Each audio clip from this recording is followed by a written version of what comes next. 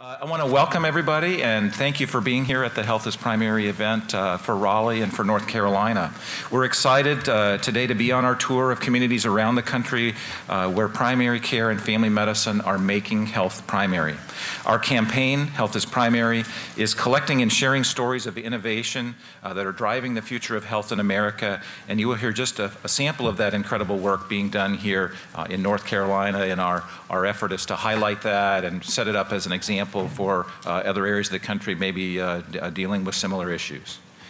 So I'm Glenn Stream. I practice in La Quinta, California, and I'm the president and board chair for Family Medicine for America's Health, which is a newly established organization representing eight national family medicine organizations that represent practicing physician, our certifying board, folks involved in research, and folks involved in academic medicine and training as well. Family Medicine for America's Health has come together with one mission, and that's to improve health in America. As everyone knows, our nation is in a health crisis. Uh, we have the most expensive healthcare system in the world, and yet we rank, rank, last or almost last in any metric that you look at of, of population health. Uh, and so we're committed to making a change. It's time to put the health back in healthcare. We believe that the solution to many of our healthcare problems can be found in primary care. We're so convinced of it that we built this Health is Primary campaign to make the case to patients, payers, and policymakers that a strong primary care system will allow us to deliver on the promise of the triple aim better health, better, better health care, and reducing costs. The evidence for primary care is strong and speaks for itself. We know that access to primary care can help us live longer, healthier lives. In areas of the country where there are more primary care providers per population, death rates for cancer, heart disease, and stroke are lower, and people are less likely to be hospitalized. An increase of just one primary care physician per 100,000 population can decrease costly and unnecessary care. Outpatient visits decline by 5 percent inpatient admissions by 5.5%, ER visits by 10.9%, and even surgeries by 7.2%. Evidence also shows primary care uh, is associated with a more equitable distribution of health in populations. U.S. adults who have a primary care physician have 33% lower health care costs. Medicare spending is lower for states that have more primary care physicians, and those states have more effective, higher quality care health, quality, and cost. That's the triple aim that we must achieve and believe primary care is best suited to deliver on that. I'd like to go ahead and show a brief video. When we were growing up, medicine meant our family doctor. When we were sick, had a broken bone, or got hurt, that's where we went. The technology was simpler then, but our doctors took care of us and helped us stay healthy. Things changed over time. We changed, and healthcare started to change too. Scientific advancements made medicines and treatment better, but the healthcare system got more complicated. We started spending a lot more money, but all that investment didn't make people healthier. Healthcare started to feel a little disjointed and impersonal. Now everybody is talking about reform and the system. It's gotten pretty loud, but nobody's really talking about health good health. Isn't that really what we all want? Our country has the best doctors, the best hospitals, and the most innovative scientists. Shouldn't we be healthy? Somewhere we lost our way. We forgot what matters. We need to embrace the values that make people healthy, like a long term relationship with a trusted doctor, someone who knows us, our family, and our risk factors, someone we can connect with when we need them, who uses the latest technology, someone who can help us stay healthy, and when we're sick, help us get the most from the healthcare system, someone who can see the big picture and the small one that's what the best healthcare should be a system based on primary care that can make our advanced medical system work for real people. We know how to get there, and going there now can give us a system that works for everyone and makes us healthy again. Now is the time. Together, let's make America a place where health is primary.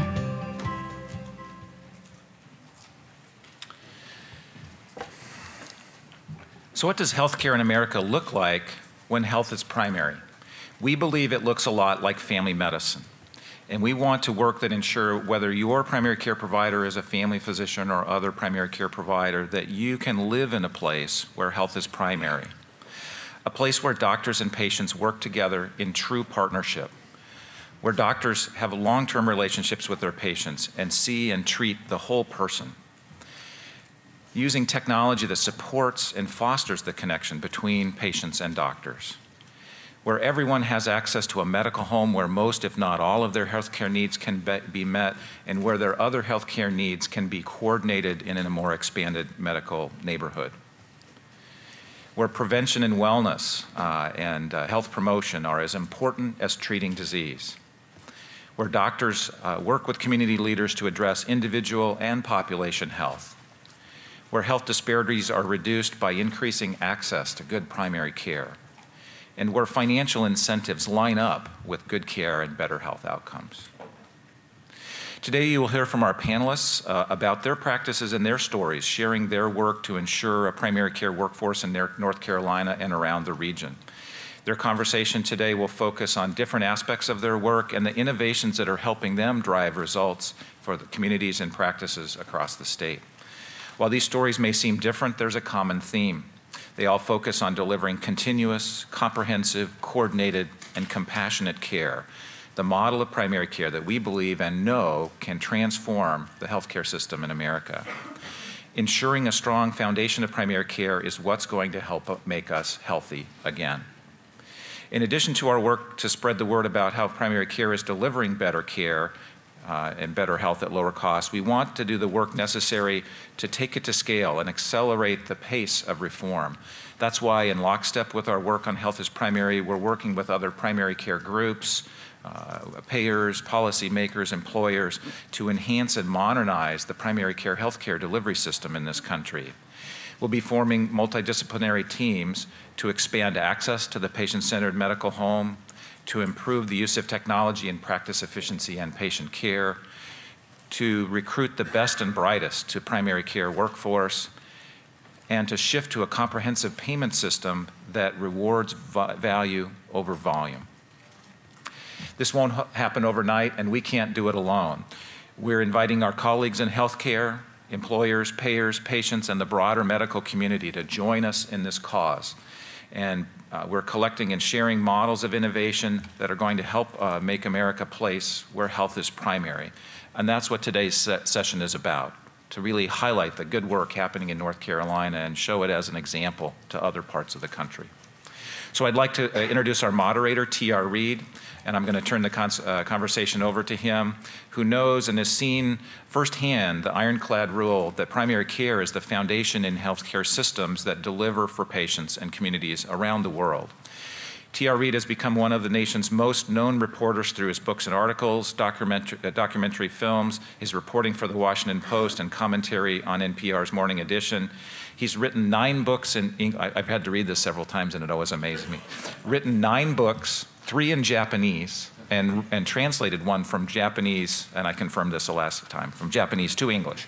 so uh, his 2009 book, The Healing of America, which is a survey of healthcare systems and innovation around the world, became a national bestseller. And his film, U.S. Healthcare, The Good News, highlighted stories about parts of our healthcare system in the United States that are working, similar to the stories we're going to highlight today.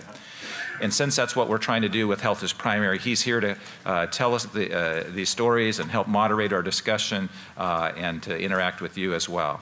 So now I'd like to turn it over to Tom so he can lead our discussion with our panelists uh, and uh, talk about the experiences here in North Carolina. Tom? Please help me in welcoming Tom. Yeah.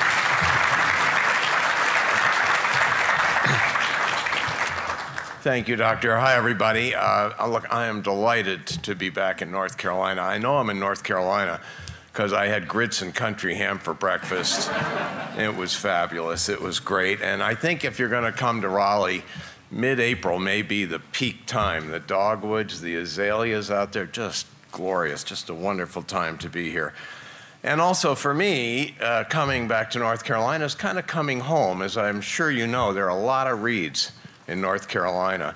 Uh, my grandfather, also Thomas Reid, used to say to me, man, you know, uh, a state with a town called Reidsville, what's not to like, you know, kind of thing. Uh, and, and my ancestral Reids, I, most of the Reids I think came here from Scotland and Northern Ireland. My ancestral Reids came from Northern Scotland, from the Highlands.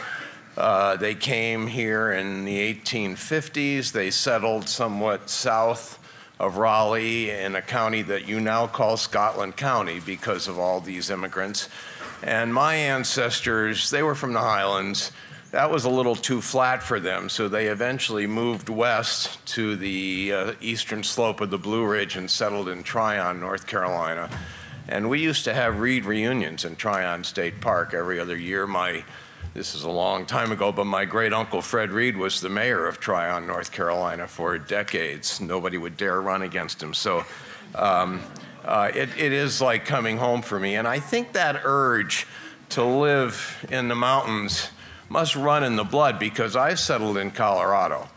And uh, as I'm sure you know, we're the highest state in the country in more ways than one. And, uh, uh, but it's good to come back. And another reason is, as Glenn said, I'm just a reporter who got interested in health policy. And for anybody in health policy, I wonder if you know this as well as those of us who don't live in North Carolina.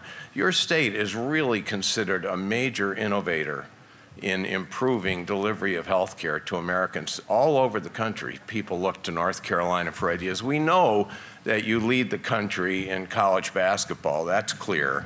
Uh, but also, in health policy innovation. And as we're going to hear today, uh, the innovative ideas to improve uh, healthcare delivery, improve population health in North Carolina, they, they come from everywhere. They come from industry, they come from the great universities.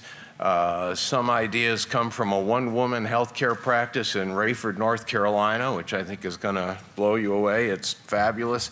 Uh, there's just a lot going on here. One thing that I had heard of many years ago was this organization called uh, Community Care of North Carolina, which has basically taken over the uh, Medicare, Medicaid, I'm sorry, practice. And um, as a result, North Carolina in the whole country has some of the finest outcomes for Medicaid patients at the lowest cost. You really have become leaders in the country. We're going to hear about that today, too.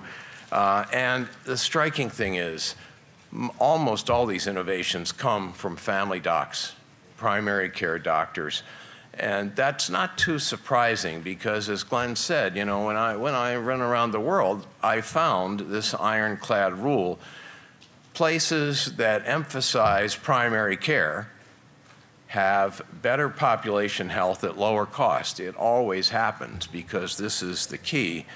And when I was traveling the world looking at healthcare in other countries, health ministers and healthcare economists always said to me, they, they think the proper ratio of uh, specialists to primary care doctors is about, the, primary care ought to be about two to one or 60% primary care and 40% specialists. And of course, the US is upside down on this.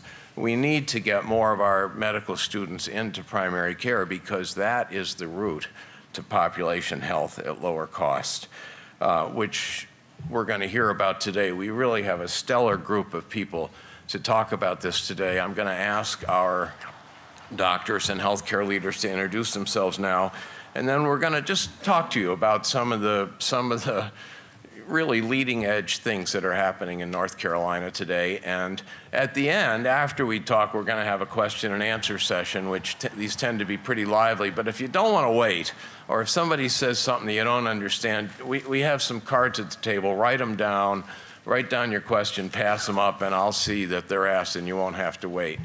Um, so I think you're really going to enjoy um, hearing, I hope, I don't know that North Carolinians know how innovative, what a leader your state has been in this field, but we're going to tell you today.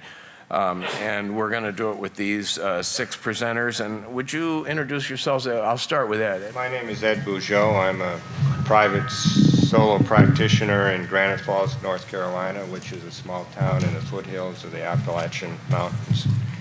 Um, over the course of the years we've been there, we were fortunate to certify as a level three patient-centered medical home. We also certified with NCQA as a diabetic and stroke coronary artery uh, center of excellence. and uh, tested for meaningful use two this year. We haven't been audited yet, and we haven't gotten money, so I'm not sure if we made the pass through or not, but I think we did. Um, also, the practice is a member of the Triad ACO in Greensboro. Uh, we practice a full range of family medicine, excluding obstetrics. I still do a lot of inpatient work in the hospital in addition to the outpatient stuff that we do. Um, for 25 years, I've also been involved in a practice-based practice-based research network uh, that the American Academy of Family Practice runs called the National Research Network.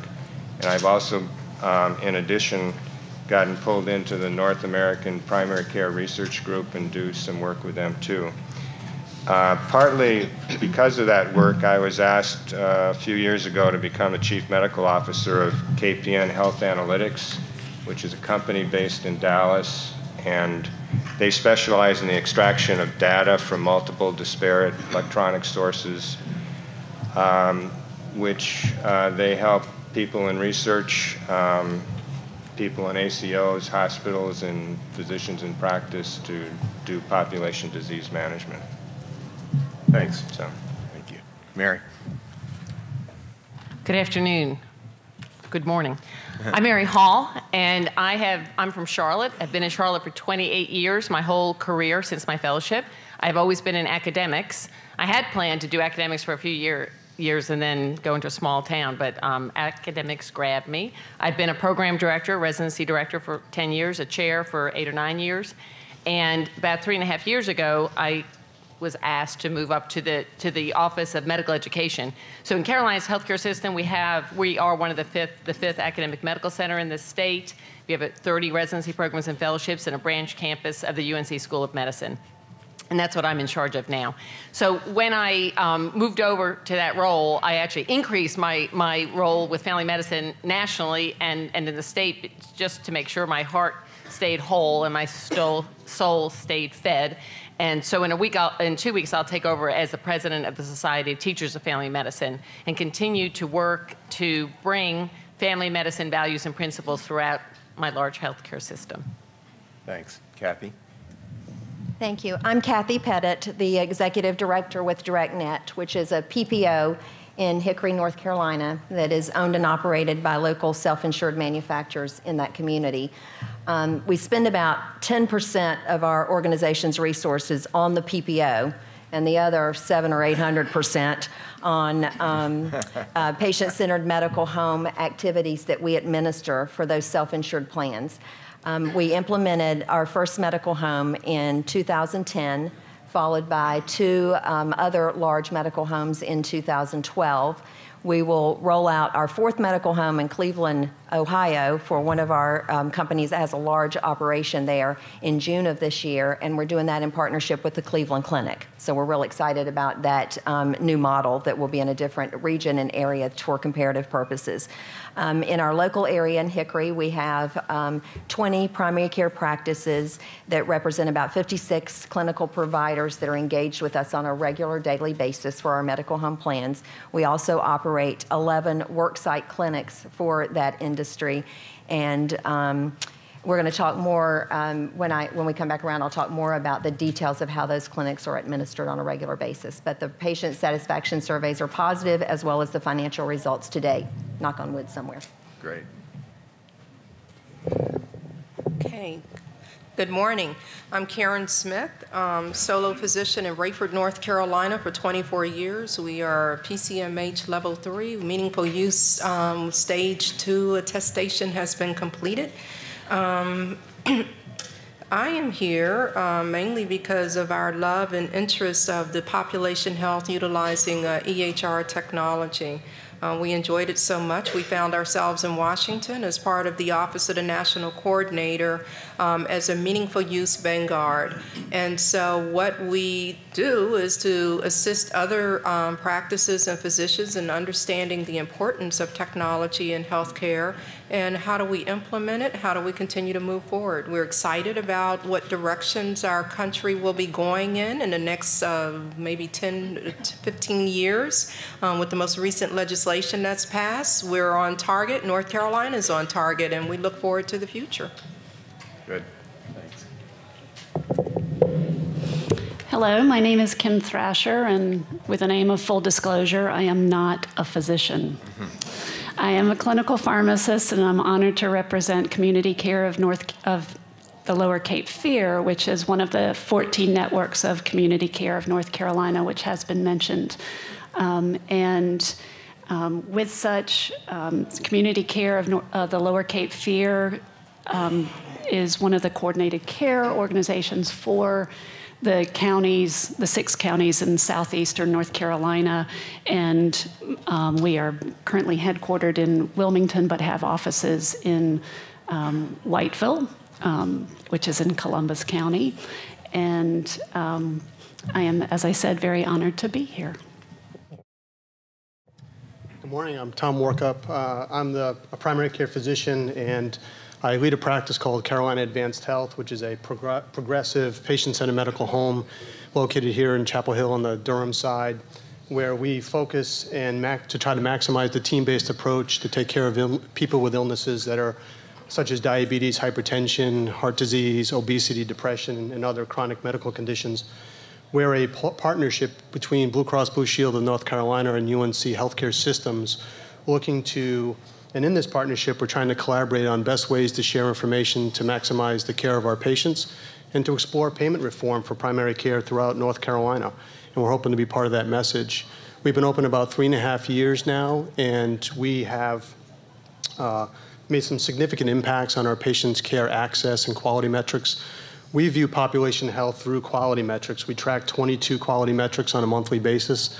We report them out to a joint board between Blue Cross and UNC and uh, have some significant trends for reductions of uh, healthcare utilizations in ER, urgent care, and hospitalizations. Uh, the person that stimulated me or kind of incentive or kind of got me passionate about population health was Paul Grundy. Paul Grundy, one of the chief medical officers for the uh, IBM Global Initiative, really uh, kind of uh, incited me when I was at the Indian Health Service to do population management at a much larger level. And Carolina Advanced Health is that model in North Carolina.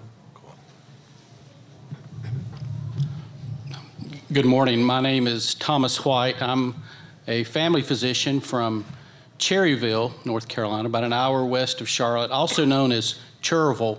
Terrible. Uh, in full disclosure, I uh, attended a school that uh, just won the men's national championship. Uh, also, a known now as a one and done school. I Yeah. I tried to go pro after one year, uh, but it didn't work out. Uh, uh, about 28 years ago, I returned to Cherryville to practice family medicine, uh, where I am now. I'm the president this year of the North Carolina Academy of Family Physicians. Uh, I'm most proud that I'm a new grandfather, and particularly proud that my son Daniel is here today. He's a second year medical student at UNC Chapel Hill. Yeah, good.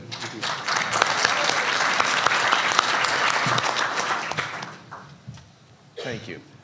Uh, so one of the issues that everybody who looks at health care in America is concerned about is the kind of siloization of health care. If their problem is on the skin, there's one doctor for that. If it's an inch lower in the blood vessel, there's a different doctor for that. If it gets down to the bone, there's another doctor for that. But as a matter of fact, what we found is uh, a more coordinated, team centered approach uh, tends to produce better health at better cost. And a lot of that is going on in North Carolina. So I just want to talk to some of our docs here about how that's happening. So, Tom Warcup, could you tell us about how this team centered work uh, works at uh, Colorado, Carolina Advanced Health? Sure. I, I I look at team-based approach. I, I break it into maybe three principal parts. One is um, the team-based approach is first going to be using the EHR. Uh, to give you a little bit of background, four years ago, four and a half years ago, when we started to conceptualize the practice, we were on at UNC. We were on an old legacy system called WebCIS, And before we abandoned WebCIS and moved to Epic, we'd actually been able to build registries in the old system that allowed us to not only stratify patients based on their disease, but then more innovatively use biometrics to stratify them within that registry. So for diabetics, based on your depression score, which was innovative certainly to bring that in, your, uh, your A1C, which is a blood sugar over three months, your blood pressure numbers, a few other biometrics, you got stratified as a red patient, a yellow patient, or a green patient. And the need, and fortunately, when we went to Epic, we just passed our one year anniversary with Epic, was that for the first time they were able to replicate that within Epic. And what that allows us to do from a team based care is to then allow us to be more proactive and deploy our team. My team is I have a nurse, I have a PA, I have another physician, but then we have a PharmD, a clinical pharmacist, we also have a nutritionist, behavioral therapist, a psychiatrist, uh, and we also have a care manager. So that allows us to look at our stratifications of diabetics, hypertensives, depressive individuals, et cetera, and deploy our team in a more proactive manner. Our overarching theme is I'd like to be engaged but not be intrusive, and that sometimes is a, a fine balancing act. So utilizing the EHR to its maximum potential is one. Uh, huddling, so we feel very strongly that once a week, the provider meets with our care team that I just mentioned for one hour to go over pertinent patient information from that week. We go over any relevant hospitalization issues, transitions of care. We incorporate now chronic care initiatives that Medicare has just put out a payment modeling for, and also any referrals, and making sure that we're on top of where our patients go throughout the system. Uh, we look at ourselves as the navigator for their health care. And then lastly would be using the team-based approach to change our culture. The culture in medicine, for most of us on this panel, grew up in a sense that we had to be very autonomous or were asked to be autonomous. And to give up some of that control to qualified care members of the team is not a learned behavior, is not, a, not an inherent behavior, it must be learned. And I, I, we find that uh, Ron and I actually work for the same organization, and we find that it's a struggle with some of our brethren to say that I want to give up that responsibility to my clinical pharmacist, or I'm going to give up some of that responsibility to my nutritionist. But to do that is truly patient centered. It gives them what they need at the point of contact and allows them to be a far more educated patient, I believe. So the EHR maximalization, huddling, and then really changing the culture so that way we feel more comfortable offloading it to very qualified team members to achieve the quality metrics that, we, that we're striving for. Thanks. And as uh, Tom said, when you take this uh, team-based approach, uh, the results are dramatic. Outcomes are better, uh, costs are lower, patients are more satisfied. And one place where this is happening that the whole nation is looking at is Granite Falls, North Carolina. And Dr. Bujold, would you tell us about what's happening there? Sure. Um, a year ago, we were going through our patient-centered medical home process, and one of the things that the process asked was how many patients we admitted to the hospital and have we decreased the number of patients we admitted to the hospital? So I had um, one of my staff run a report, and she brought it to my desk, and I looked at it, and I thought, this has to be wrong. And she said, no, I've done it twice, and it's right. And over five years, we had decreased our hospital admissions by 80%. And um, I knew I was, I, I admit all my own patients to the hospital, and I knew that, you know, we weren't admitting nearly as many patients as we had been before, but when I saw that number, I just about fell on the floor. Um, so I'm going to tell you a little bit about how that happened. Uh, about 10 years ago, we started on this path of transforming the practice. And in the process of doing that, I, I have 13 people that work for me, mostly full-time. There are some that work part-time. Um, but we added a PhD psychologist. Um, we added a PharmD, physical therapist, and a dietitian. Um, we also have a fairly elaborate uh, IT system that extracts data from patients uh, the night before we see them and it allows us to see where gaps in care are for preventative care and also for chronic disease management like diabetes and hypertension and COPD.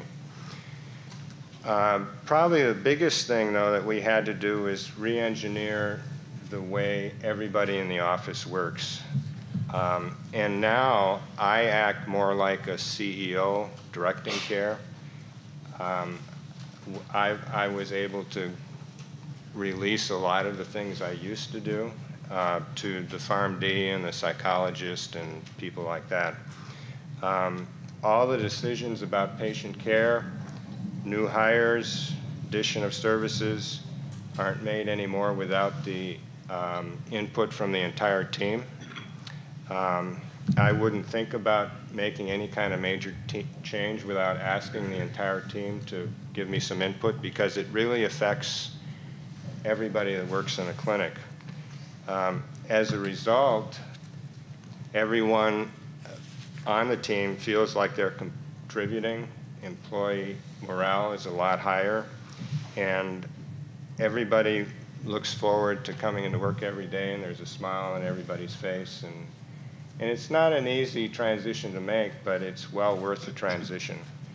In addition, we have aggressively worked with our palliative care and hospice um, community, uh, proactively addressing end-of-life issues, um, and very much making that a patient-centered decision, which it needs to be, uh, with the families always in control of the process, and have found a lot of people, you know, that previously would have been in an ICU um, and just and I'm sure a lot of people in this room have been in that position where those issues weren't addressed and you end up taking care of people that really don't want to be in those kind of positions because they were never asked the question.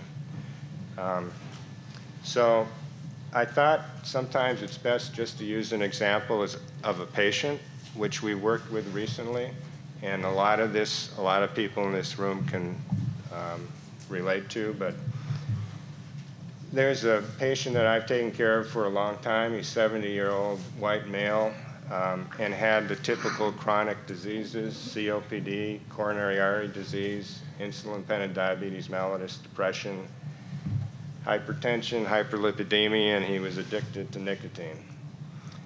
Well, what we did with that patient in this new model of care, we first brought in the dietitian and the PharmD, and he spent the first time he saw them three hours um, and really got a much better understanding of his diabetes. His sugars had been running three and 400. He didn't understand much about the process, the drugs, et cetera, et cetera.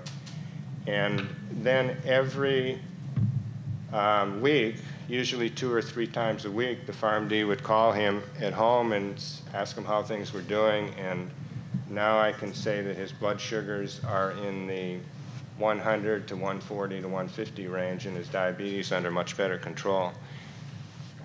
I wasn't involved in that part of his care at all. You know, that was all on the PharmD and the dietitian.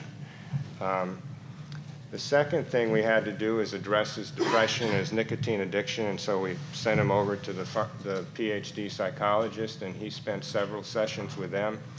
Turned out during that time he had just gotten married and he was having significant marital discord, and so we brought his wife in um, and worked with that and got that all straightened out.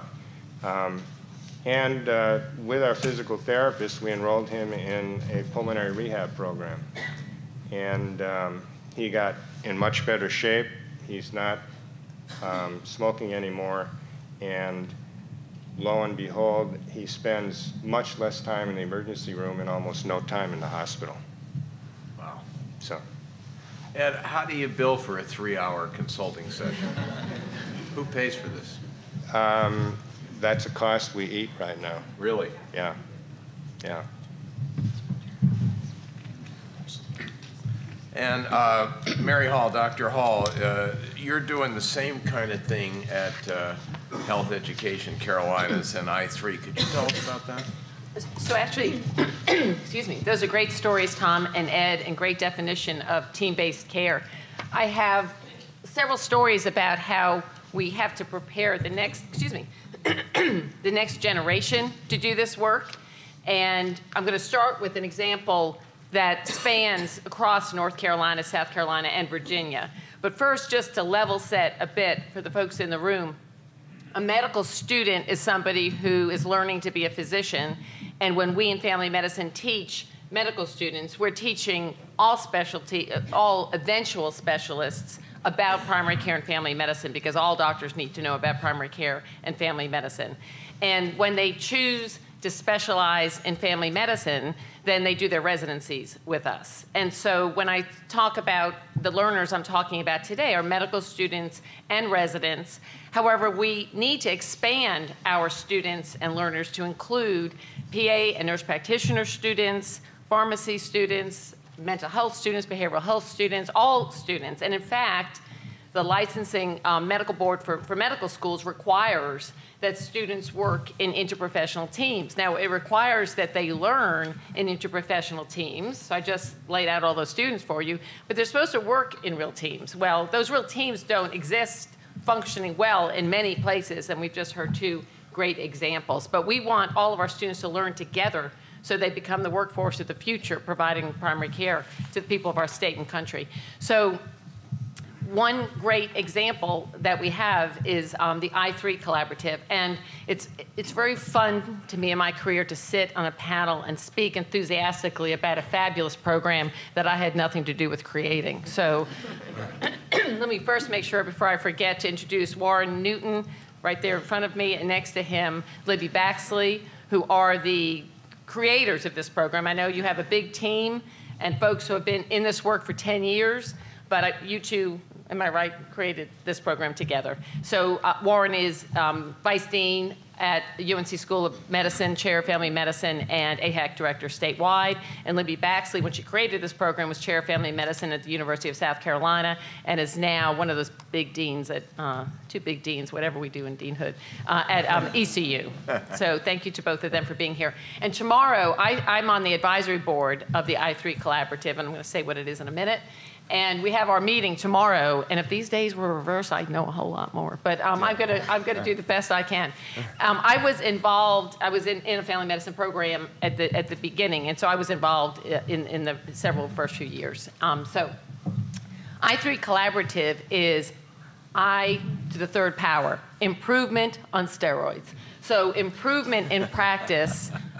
First, the first part is that the residents, see, we need to train our learners um, for their future, the future we want them to be. We need to train them the way, which is really a moving target, as you know. Who knows what they need to be, but we're trying to stay on top of it.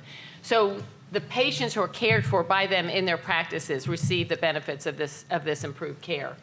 The communities around the residency programs who might be involved with the residency, their patients receive this improvement. And then, of course, when the residents go out into practice, we assume that everything they learn, they will bring to their practices. That's the improvement to the third level on steroids that we're doing. What a quality improvement project does, and I'm, I'm, I'm, on the, I'm in the team section, so I better make sure I talk about teams, but quality improvement, what a, what a learning collaborative does is, is meet, they like each other and we have a lot of fun together, but that's not really why they're getting together. We, and we used to get together in the mountains. That was pretty. Um, so, but the real reason we're getting together is to share um, learnings with each other, and the teams get together, and that's that's the point. So we would drive up to wherever the twice a year meetings were, and you bring not just the physician. You know, family doctors, a, a, lot of family doctors, we I learned in teams. I wouldn't know how to practice medicine without a PharmD. The word there was two or three years I did not have a PharmD in my practice, and I uh, it was kind of rough. But we we have incorporated and integrated behavioral health and pharmacy throughout really for, for a lot of years. We're just trying to make that more of a standard for all of all of our practices. I worry sometimes about my residents who graduate and a patient starts crying and they go look for the mental health professional in their practice and, and you know, ah, they're not there. Yeah. So we have to be careful to prepare them for the future that exists now and the future that can be um, later. So the teams come together, and that's the physicians, that might be the nurse practitioner and PAs that are in the practice, uh, the, uh, or other nursing personnel, MAs, the front office staff, so the practice manager, anyone who has anything to do with the care of that patient comes together in these teams, in this learning collaborative. 10 years ago, we focused on diabetes and heart failure. And 10 years ago, we showed, I, I, we showed definitely a reduction in hospitalizations, ED visits, and overall improvement in care. So this is about objective, measured outcomes in care. We transformed um, to patient-centered medical home, and at that point, we became attractive to in our internal medicine and pediatric primary care colleagues. And the goal of that collaborative was to get uh, patient-centered medical home. And now, currently, the collaborative is focused on the triple aim. We have, and for folks, it's been stated once, but I'll state it again. Um, it's the triple aim is about providing better health outcomes, a better patient care experience at lower cost. So we, this now includes, I mean, Libby and Warren, if you want to talk to them afterwards and bow down. Um, it now includes 27 practices in three states who come together to prepare their residents to graduate and, be, and think that this kind of care is normal. And so they each choose one of those three things to focus on, I think. If I get these details wrong, forgive me. But one, one thing, uh, some of the group I sat in on was to decrease utilization of care, to decrease, um, to increase, you know, pay, pay primary care visits, but to decrease the use of, of high cost um, imaging studies and to decrease emergency department visits and to decrease hospitalizations to decrease referrals. And that's always tricky. You know, I, now I'm in my world where I I go over to see my patients at family medicine to breathe a little. But I'm in a world with, with a lot of other specialists, and they take great care of patients too. But, but sometimes what they think is an indicated test isn't necessarily what we think is an indicated test. So lots of work, though, do, being done across the country, started with the American Board of Internal Medicine to look at choosing wisely, the Choosing Wisely campaign, to look at ordering tests and referring um, to, spe- to other specialists um, when it was indicated and when evidence said that that was the thing to do. And those referrals and tests and labs we need to order, but other things we don't need to order. If it's not been proven to be effective, it will just be an, not just an added financial cost, but an added health cost to the patient when there are, are bad outcomes or un, unex, unanticipated um, outcomes. So that's the work of this team meeting twice a year, webinars every month, sharing data, uploading data, learning from each other, making improvements, studying the effect of those improvements, and then hopefully putting out a bunch of doctors who know what to do with their teams. And the three states are the two Carolinas? Uh, Virginia, North Carolina, South Carolina, and last time I was there was somebody there from Florida, so watch out.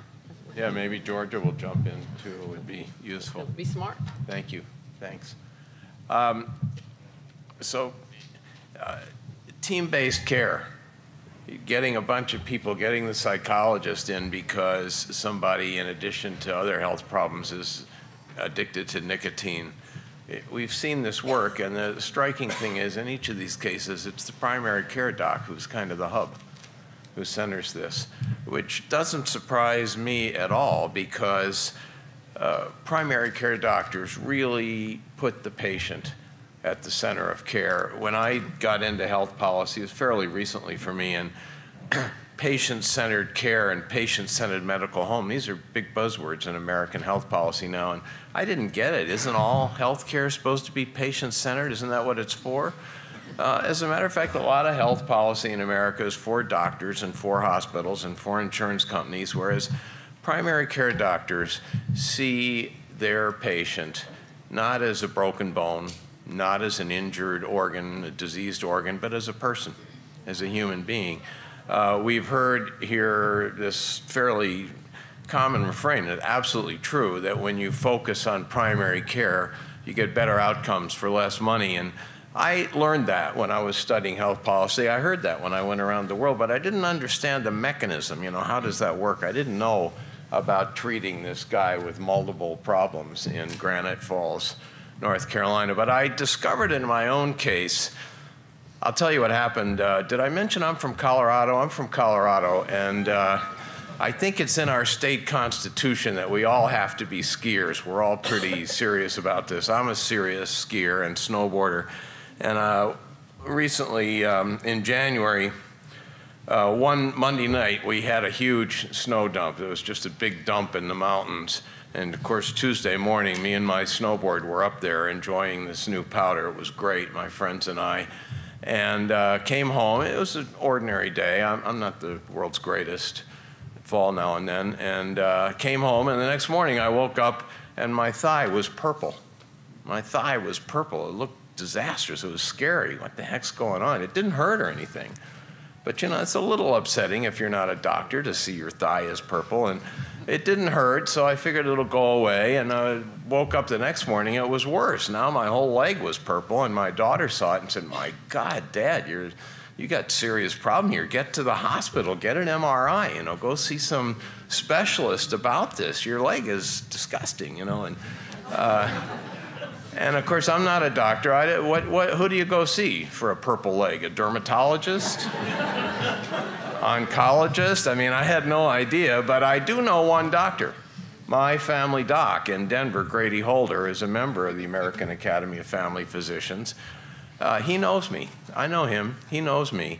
And uh, so I went in to see Grady Holder, and uh, I said, Doc, my leg is, is terrible, and let me see. And I showed him my leg. He said, Okay, pull your pants up. After about five seconds, he says, You're fine.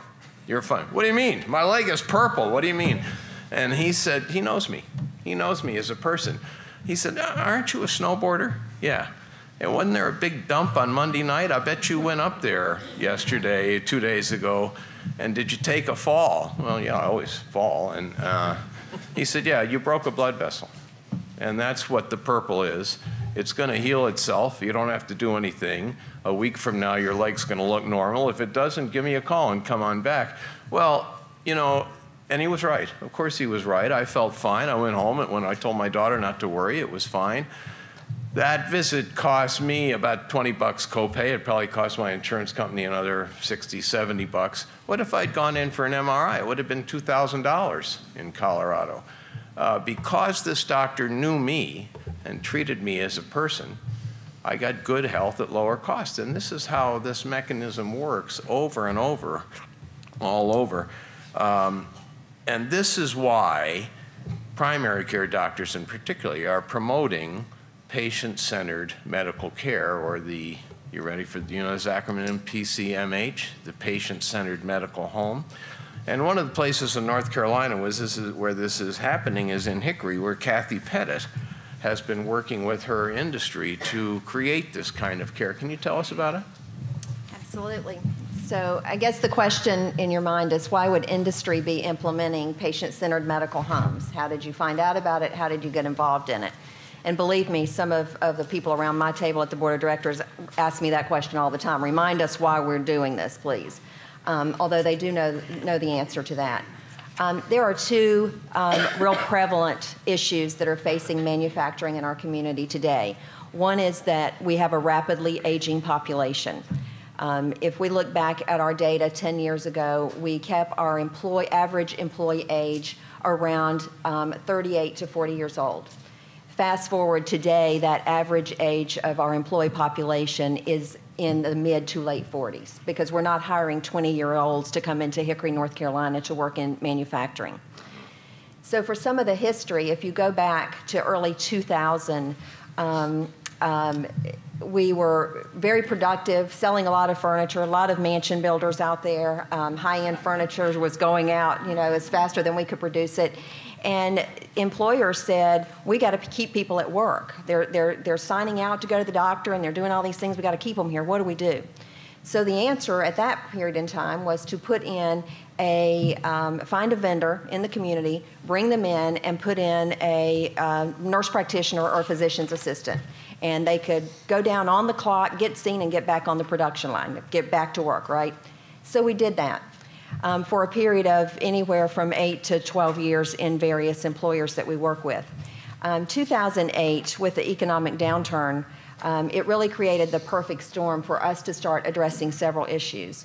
One was when we looked at our data, we knew that not only was our population aging, but also the health status of that population was diminished. We also looked at that data and determined that less than 20% of our population were seeing a primary care physician. So they were going to the worksite clinics that we were providing um, for acute care visit. They'd go down if they didn't feel well, they'd get an antibiotic, they'd go back to work.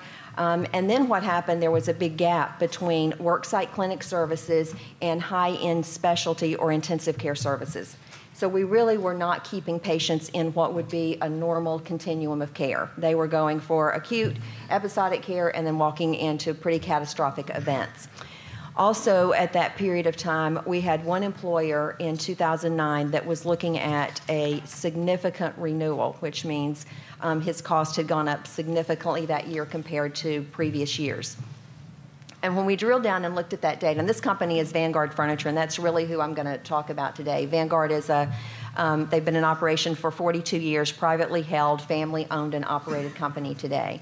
Um, and everybody in the workforce knows the owner of the company and talks to him freely, and he walks through. And um, John at John Bray is the owner, and we were sitting down looking at his data, and we had two cases in his claims experience for that year, for the year of 2008 um, he spends about $10 million in healthcare costs, not administrative costs. $10 million was spent on healthcare that year.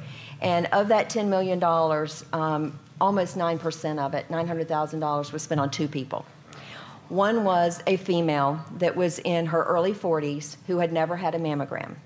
She had never had a mammogram, even though twice that year we had pulled, had the hospital pull up a mobile mammography unit in front of the work site for free of charge. You don't have to clock out, you can get a mammogram. She had never had one.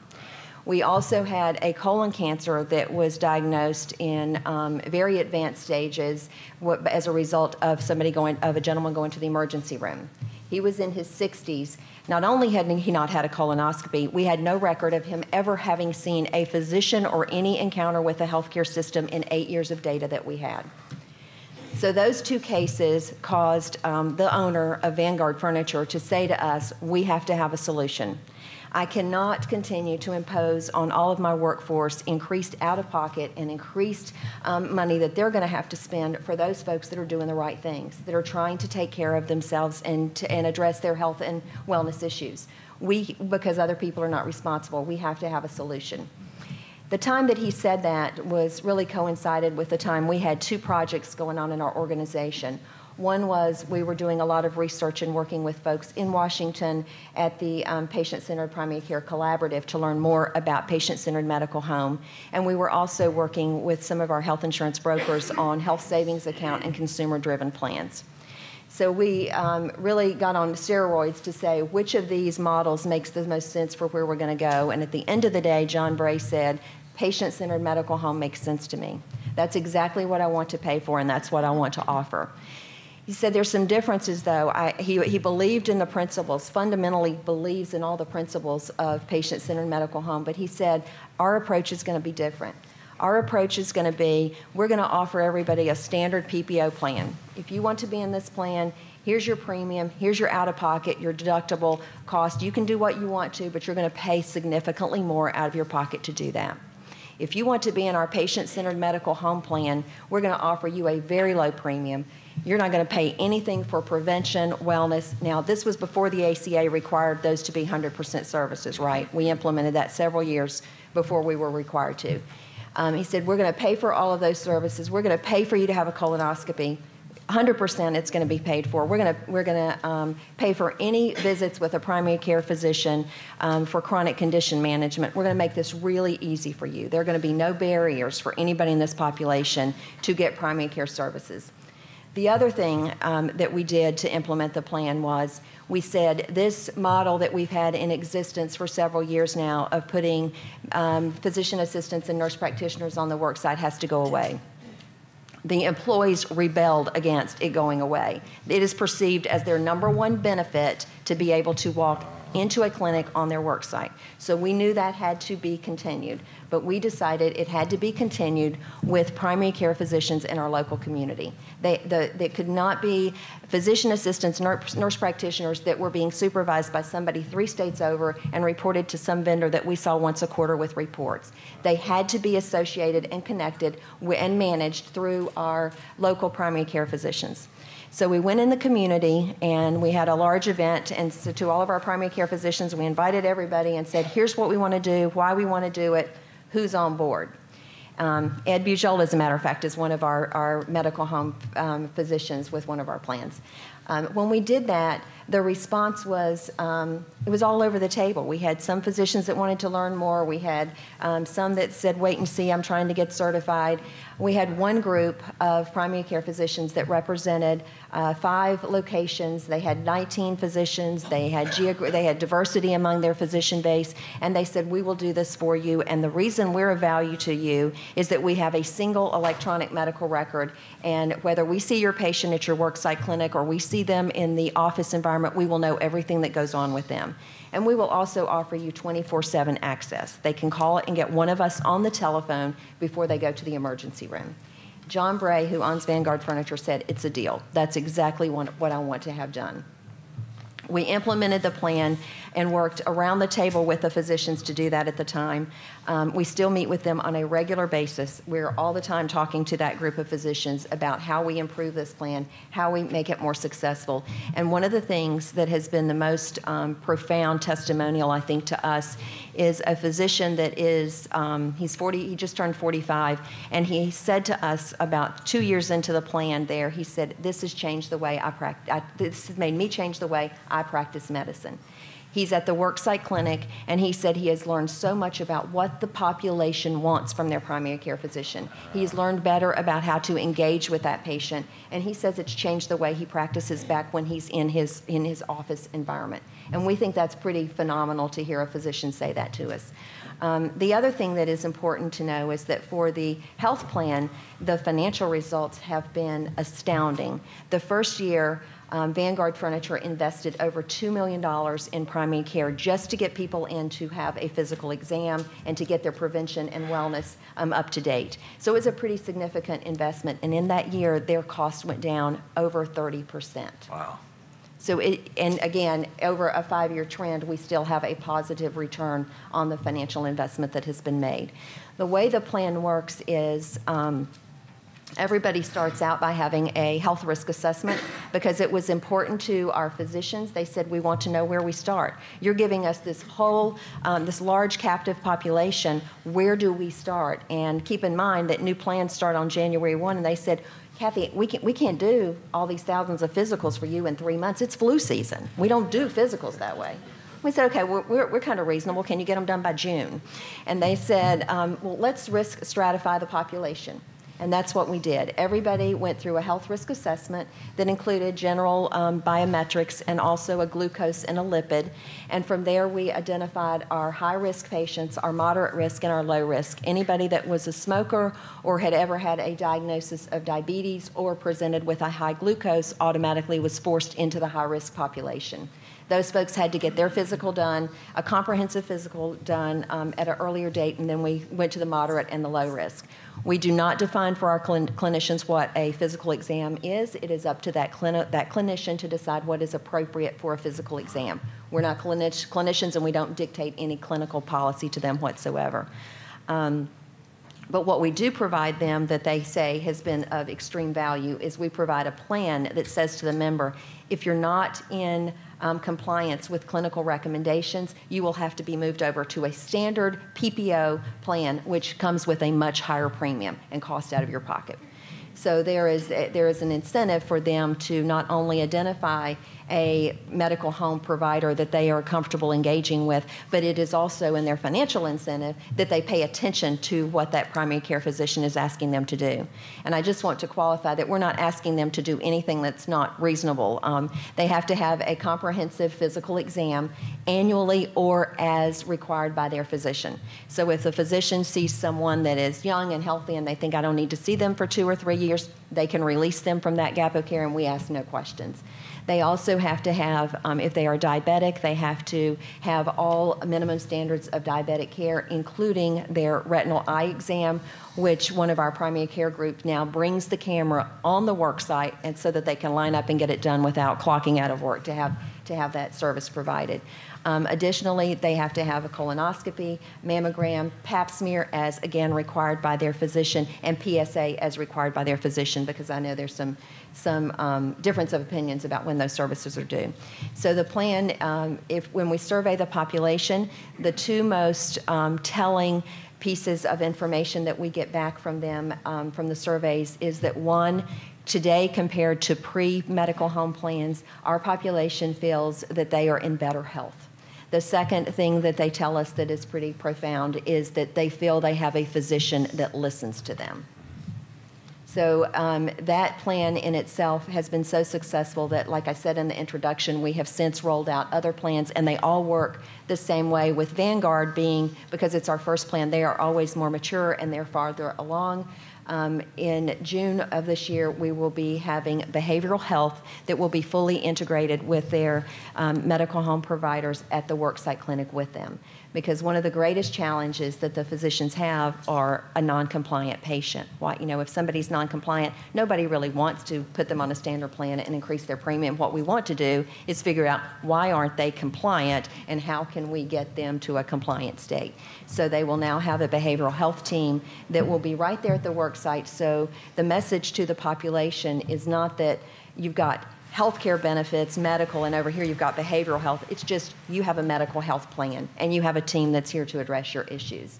So um, we're real excited to integrate the behavioral health. The other um, um, process that's in place now is a three-year plan where the culture at Vanguard and the other companies will be one of wellness. And um, if any of you know anything about manufacturing, I will tell you that it is a really tough environment to take to a no smoking campus. And ah. Vanguard did that ah. and did it successfully.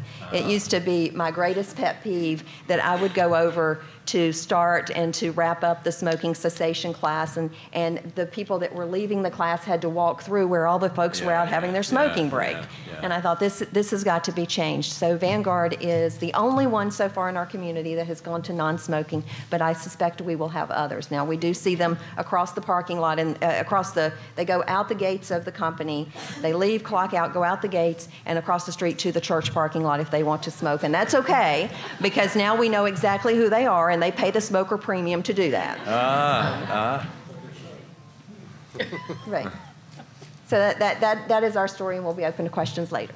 Kathy, when, when um, Vanguard offered the traditional insurance plan or the medical home, how many people took the old one? Yeah, that's a good question. I'm sorry I didn't say that. We have 99% of people in the medical home plan. It is, it is priced to drive participation to the medical home plan.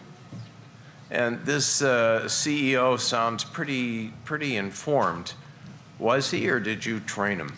Um, no, no, I can't take any credit for that. He is, um, John Bray is incredibly um, informed about healthcare. In fact, I am very fortunate to have a board of directors that sits around my table and and they're there because, for the most part, um, they all own the companies. So it's it's their money that's being spent on healthcare. It's not just another assignment that they have.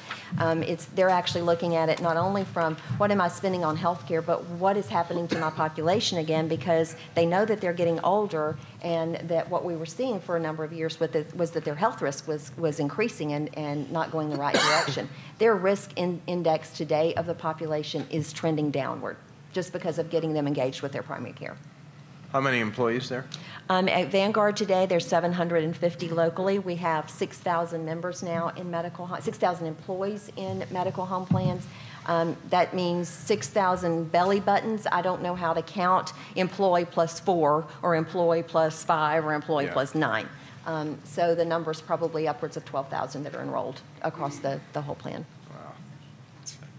Uh, I just want to thank you, Kathy. I just want to say again, if you have a question, write it down, and uh, we'll we'll pass it right on. Uh, now, there's a real another good story about uh, using a team approach to get people healthier from uh, from Cape Fear, from uh, down around Wilmington, North Carolina, and Kim Thrasher is going to tell us about that. Thank you. As I mentioned earlier, I'm one of the representatives from Community Care of North Carolina. And for those of you who don't know, and there's so much that I would love to tell you about CCNC, um, but I'll try to be succinct. It is an organization of physicians, pharmacists, nurses as care managers, behavioral health specialists, and I hope I don't lose or um, leave anyone out. Um, and we are um, have formed a partnership with the state of North Carolina and initially established in 1998 to provide coordinated care to primarily the Medicaid population. And um, as such, I am um, with community care of the Lower Cape Fear, which is, um, covers the six counties in southeastern North Carolina. And CCNC in general has um, had has, is working with about 6,000 of our primary care physicians across the state, and that represents about 90% of our primary care providers. And um, they choose to be working with us. And I think that's an important statement as well. So, through my work with CCLCF, which is Community Care of the Lower Cape Fear, um, I work, as mentioned, with physicians and care managers and the patients. And um, we had some special funding um, shortly after I got there, which was about three years ago. And this allowed me to go into some of the local practices or be embedded in some of the local practices. One was a solo practice in Whiteville, and down there they pronounce it Wattville. Um, and but I love that. And the other practice was in Elizabethtown, which is in Bladen County. And if you've seen some of the recent health statistics, Columbus County and Bladen County are not the healthiest counties in North Carolina. But that's the one of the beauties of CCNC is we are across all, we we work out of all 100 counties um, across the state. And um, with this special funding, as I said, I was able to go in and um, be able to provide real time comprehensive medication reviews for many of the patients. And there's one special patient which, um, when we were asked to, um, to participate in this um, event today, they said, Tell us about some of the patients. And I immediately thought of this one patient that initially the care manager had come to me and said, Need some help. We have this patient who we're in, engaged with, and she's engaged with us. And she's been told to have some nutritional supplements. Can't afford them. And so I'm a pharmacist, I'm not a nutritionist. but I had been in that situation before with what do we do with alternatives. And so I went in, and she was the patient was very gracious to allow me to um, interview her. And by that I mean she's known her primary care physician, Dr. Rich, for year after year after year, and I was this new person. So she was very kind to let me interview her and ask, ask her about her medications and and she had been several times hospitalized. She had a couple of chronic disease states or conditions, and she had been hospitalized. She had gone to urgent cares, and it was overwhelming. And she needed to have this central um, group of people with whom she could work, and she found that with us. And it was um, at that point that we didn't try to change her life overnight. And we started to take steps. She had concerns about her stamina and, and her breathing. And so we took certain steps, and it wasn't everything at once. And with that, um, I can now look back and, and I can look at through Community Care of North Carolina, we have this great electronic um, health record, which not only are we do we have access to some of the medical records, but we also have access to the patient's fill claims in their pharmacies. And this is very important to us for when we um, look and provide a medication review. And this patient has one of the most beautiful fill histories I've ever seen. We got her engaged. We, she and that's another thing, if I can interrupt, is I think too often we concentrate when we are talking to a patient about this is your condition and this is ways that we're going to treat the condition with medications. And too often we automatically go to the risks of the therapy. And do we concentrate at all on the risks of not going on the therapy? And so we talked to her about this, the benefits and risks of whether she went on, therapy, on the medications or whether she did not. And she chose to go on the medications. And she's got one of the most beautiful fill histories every 30 days. And I'm so proud of her. and she is thriving. And she is absolutely thriving. And when the patient thrives, we all thrive. And it's, I have, again, I have so much more to tell you, but um, I, I would really like to introduce our care team. Um, we have Miss Tanya Suggs, who is our care manager. And we have Dr. Chuck Rich, who's our physician. And we have Miss Sylvia, patient. our patient. and we, who, she is accompanied by her niece, Miss Priscilla.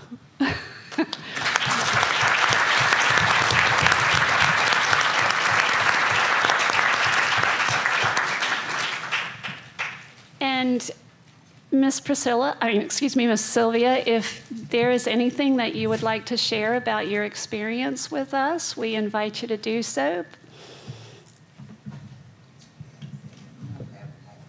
Oh, I got a mic.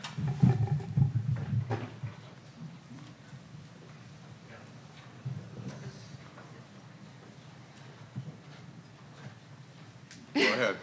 it's okay.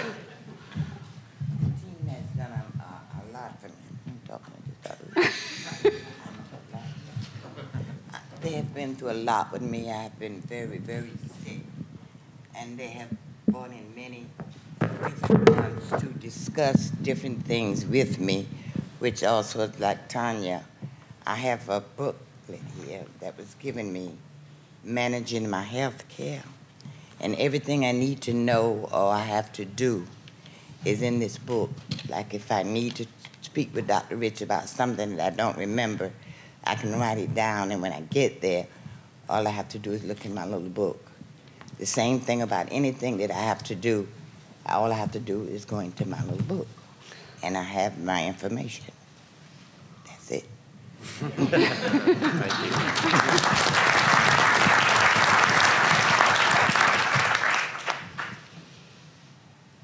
Kim, what does the care manager do? Do we still have the? Tanya? Um, there's not a lot that they don't do, but I'd really love Tanya to address that question. Basically, what we do when our patients um, are in the hospital, we.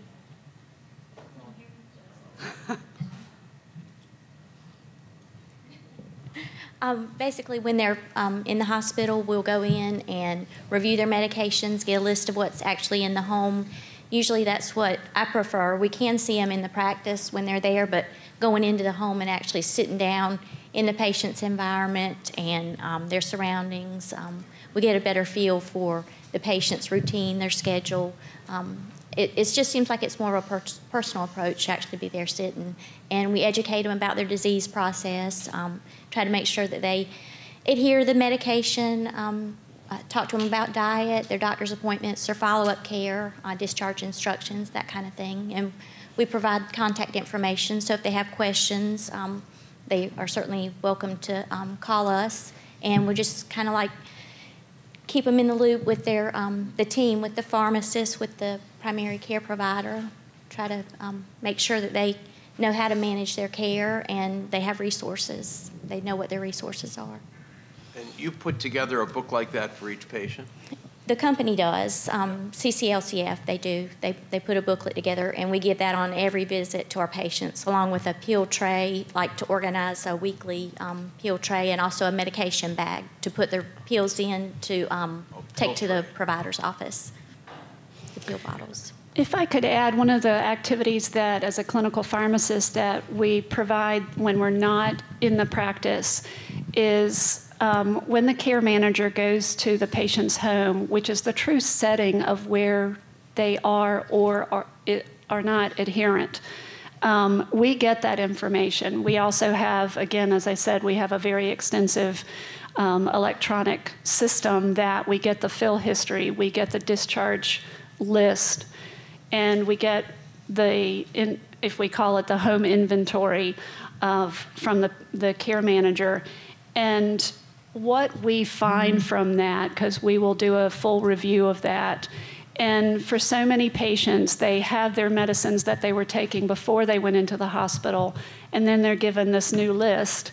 And it's amazing how much we will find. And, and not only do we do that to, to um, uncover any discrepancies between lists and what the patient is actually taking, but we also provide an aspect of, of just an additional pair of eyes for that evidence based medicine approach. So if I see a patient who has a history of diabetes, and I'll, I might that might prompt me to ask the question if I don't see an, a patient with a particular type of medicine, um, such as an ACE inhibitor or a statin, um, that I'll, I'll add that to the medication review. I will then submit that to the primary care provider.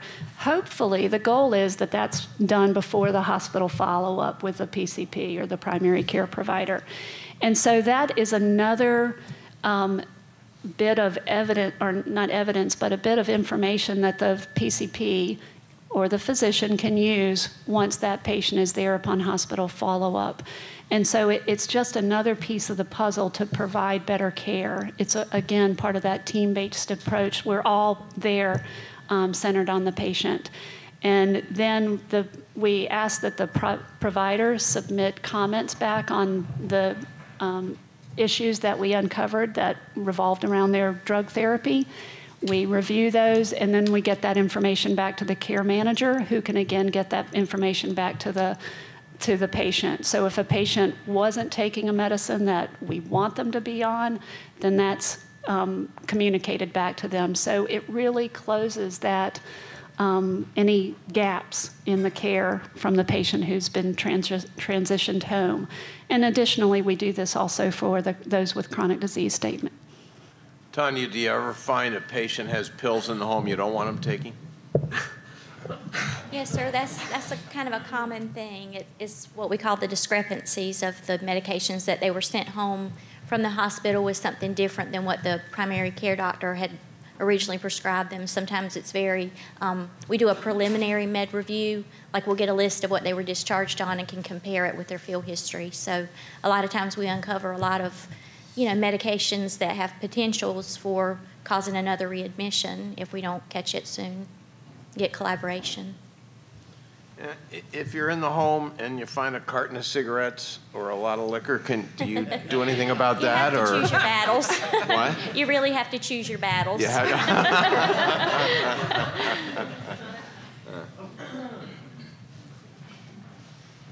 okay. Thank you. When I was uh, reporting in France, they do this kind of thing. In, in France, as soon as the line turns blue on your pregnancy test, a home health visitor goes and visits once a week for the next nine months. And I was talking to this one expectant mother, and she said, Oh, I hate that woman. I hate that woman. Why? Because she comes in and she goes through the drawers and finds the cigarettes and takes them away. She didn't like that at all. But that's, uh, that's the kind of involvement that a primary care doctor can oversee, and it really advances health, as Sylvia has told us. Uh, which gets us to another, I think, uh, key point, particularly in a state like yours or mine with large rural and low income areas. And that is uh, healthcare is not just going to the doctor and getting treatment or getting a pill. Uh, healthcare has to start with the patient, it has to involve getting patients to take responsibility for their own health. What do we call this? Wellness, preventive health, community health programs.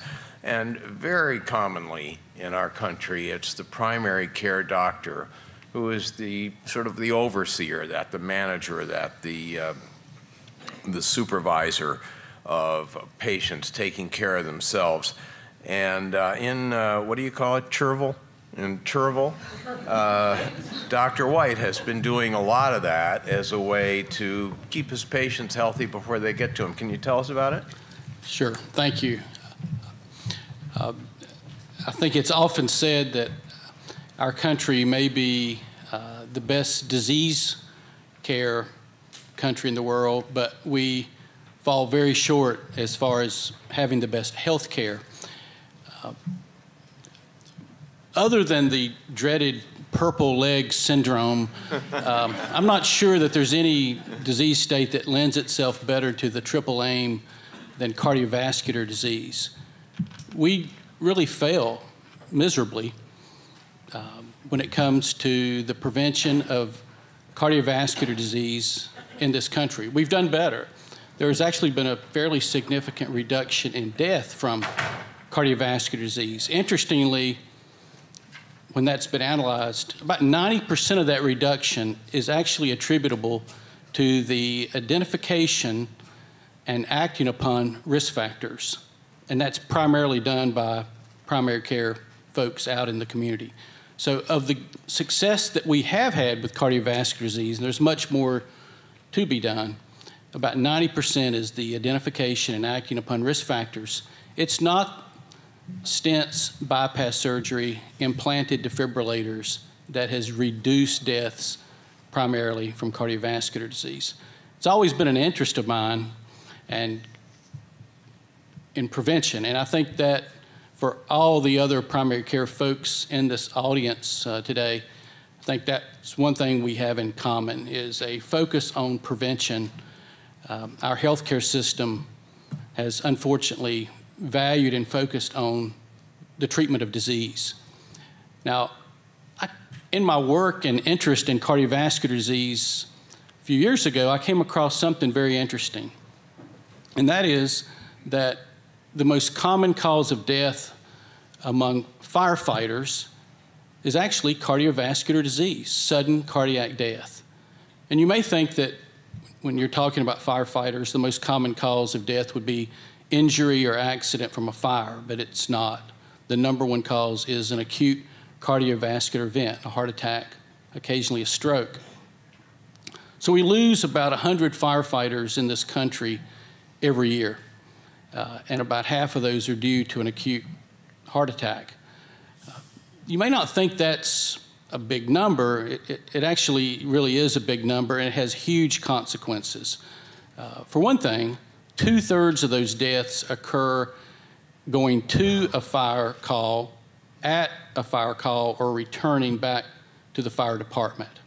So imagine that when that happens, a firefighter goes down, and it's happening going to a fire, at the fire, or returning. Right there, your home, your life, your children, your grandchildren, your property are endangered fire teams responding to your fire aren't over, um, uh, the, the, team is not overstocked, they're limited. And so when someone goes down at that moment, it puts everyone at risk. Uh, so there's some immediate consequences. But the other is it's very costly. It's costly to replace a firefighter. It's costly uh, uh to the department. It's costly to the community. So I came across this uh, phenomenon about firefighters, and I decided I would look into it further. And I decided in my small town that where I could start would be my local uh, fire department. We're very blessed in Cherryville to have one of the absolutely best fire departments in the state of North Carolina. It's been recognized statewide and nationally in a lot of ways. Uh, it's a fire department of about 40 firefighters. And by the way, if you remember nothing else that I tell you today, it's firefighters, not firemen, okay? So remember that when you go back to your communities. Now, in, I'm very, very, um, very honored that two of our firefighters from Cherryville are here today. I'd like for them to stand and be recognized. Uh, Mr. Jason Walford, Mr. Derek Mackey.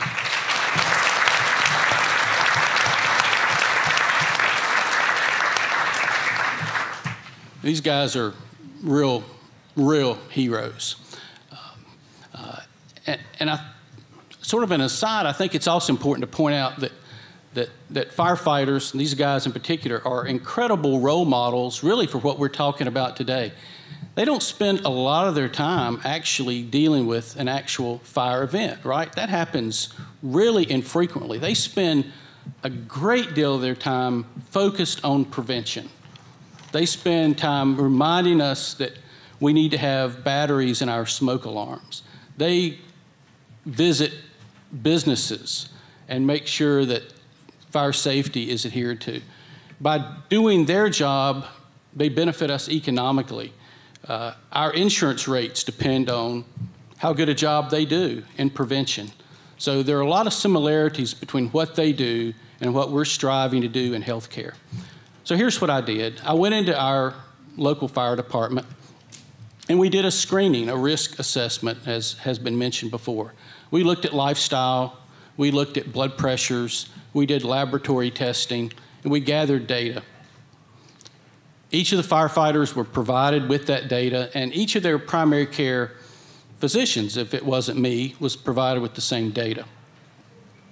Uh, virtually every firefighter in the department and I sat down, went over their results, and laid out a plan that they could take back to their primary care physician if it, again, if it wasn't me. So what did we learn from that? Just to summarize, we actually learned that uh, they have a, there's a high, high uh, risk of diabetes among this small and fairly young group. We found that they had fairly well controlled blood pressures. Uh, we found that their cholesterol levels actually on the surface looked pretty good, but when we did detailed testing, we found other worrisome signs. About half of the firefighters had signs of inflammation in their arteries. In other words, the potential for having sticky arteries, sticky arteries that could result in a sudden heart attack. Uh, so we provided information, feedback, and then each of them began to lay out a plan. Uh, if I could go back just a minute and address the issue, because you may be wondering, why do firefighters have this risk of a sudden heart attack? They actually have about a 300 fold risk of heart disease and about a 100 fold risk of sudden cardiac death compared to the general population. And the reasons are first of all, they actually have more diabetes, high blood pressure, cholesterol problems than the average, the general population. We didn't find all that in our small study, but we did find this significant risk of diabetes. Uh, but coupled with those risk factors that are in place, firefighters are exposed to something that none of us will probably ever experience, and that is they, they live and work in a situation where their diets are often uh, very, very controlled by their circumstances. They often live on fast food. They have to. They have to be very nimble and always ready uh, to move. Uh, they going to a fire event or at the fire event, they're exposed to a lot of physical and psychological stressors, uh, heat, noise. They're at high risk of dehydration, and they're maybe the most significant is this phenomenon of the adrenaline rush that occurs. So if you take those traditional risk factors and you put it with those unique circumstances of firefighters, it's no wonder, it's no wonder that if a firefighter has a, a, um, a, a narrowing in a coronary artery plaque and it's inflamed, it's sticky, and it can rupture, that's how the sudden cardiac death occurs. We learned a lot from this study. We learned the importance of lifestyle. We learned that a group like this can actually take this information and they they can do something with it. And that's I think what I was most proud of in my working with our local fire department. Uh, we sat down as a group and said, small group, firefighters, myself, and said, what are we going to do with this information? We know the statistics, we know the risk, what are we going to do? And so they, they laid out what we were going to do, that we were going to promote more exercise uh, within the department. So firefighters in the department reported on a regular basis what their exercise regimen was. They began to weigh themselves, uh, and they actually suggested forming a biggest loser contest uh, within the department. Uh, the winner that contest is actually one of the two firefighters here today, uh, Derek Mackey. I, I think he deserves to stand back up.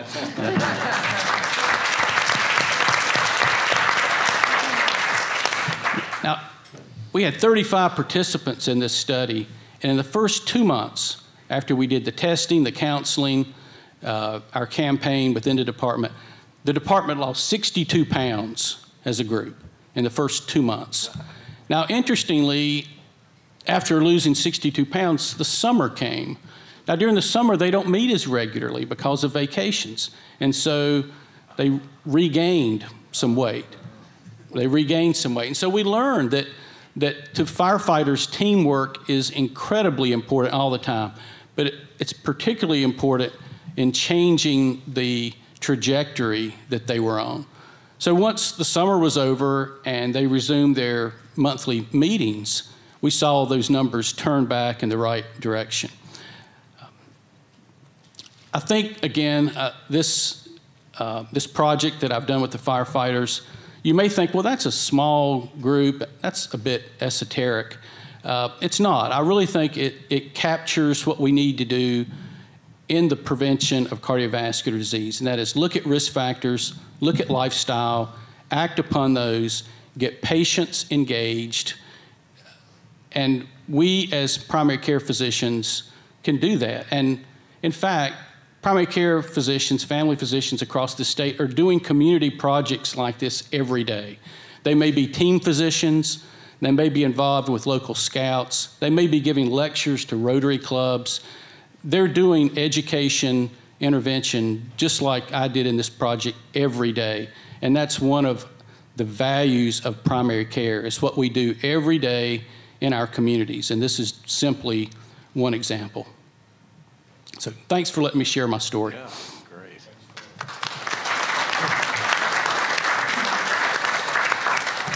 So do you, do you find other fire departments come in and to see how you're doing this?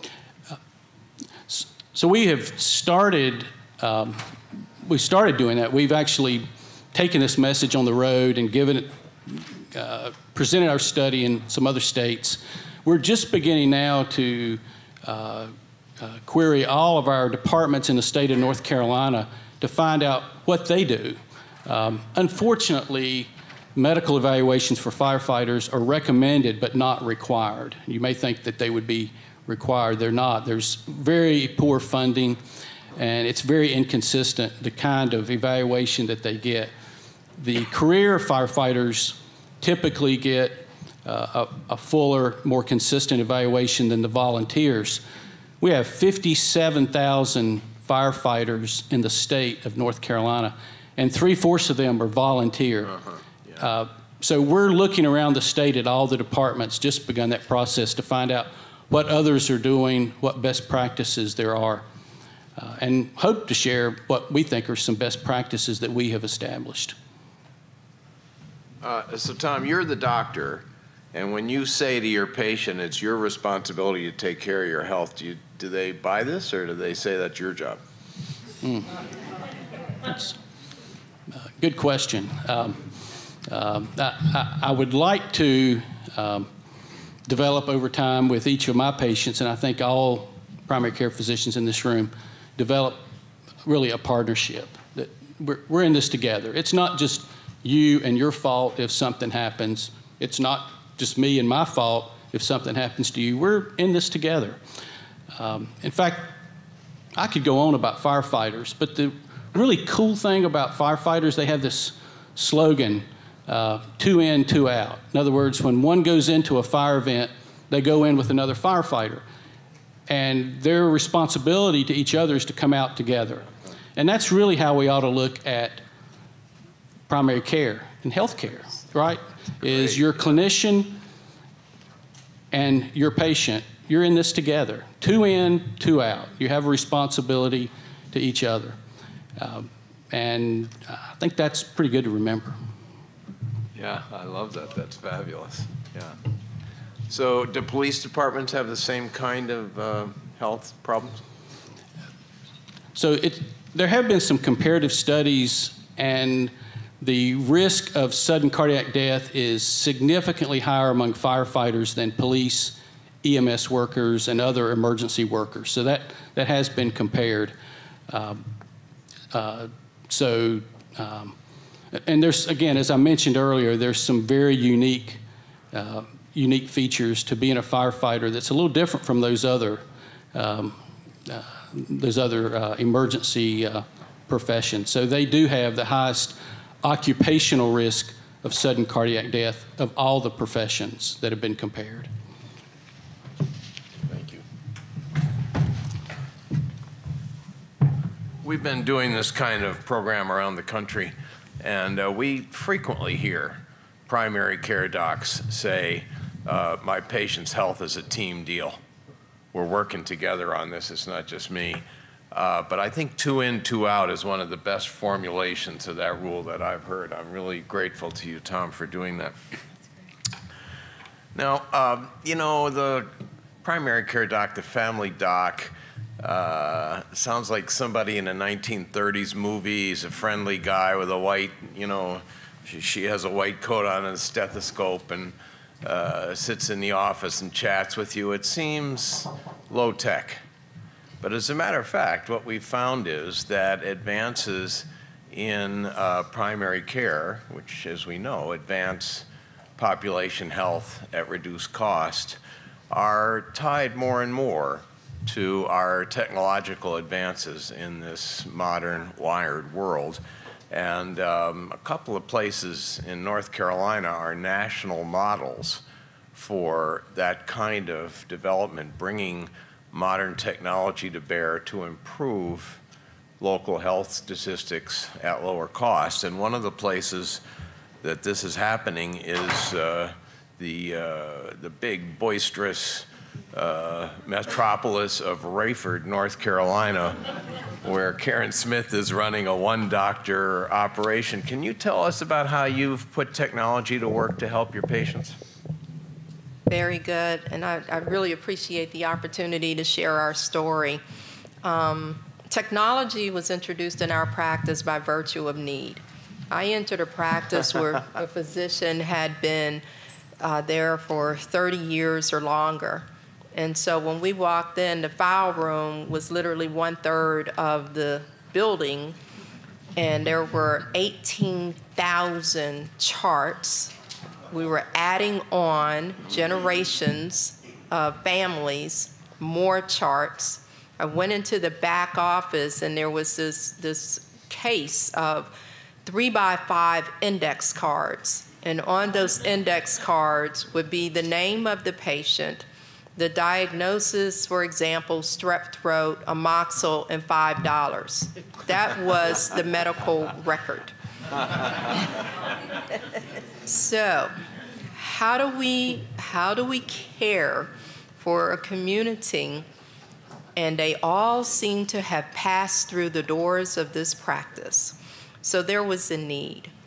But I want to present two stories um, that occurred, and one is very recent and how technology not only did it allow us to better document and keep up with information a little bit more than the index cards that you guys are writing on, but the first story was a 61 year old gentleman, military retiree, African American, actively working in his uh, retired field of choice who we reviewed his military records and recognized this gentleman was due for colonoscopy. He's on schedule. VA had done a great job, kept him on schedule.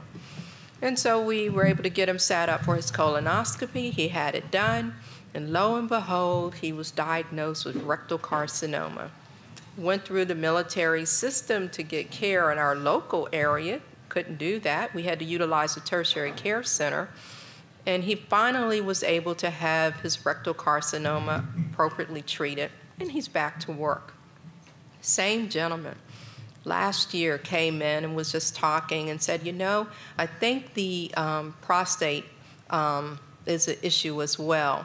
And I said, Well, why is that? Well, I just buried my brother from prostate cancer. And I said, Oh, oh that is an issue. But both of these had already been identified in the EHR in our preventive HEDIS measures, the quality measures.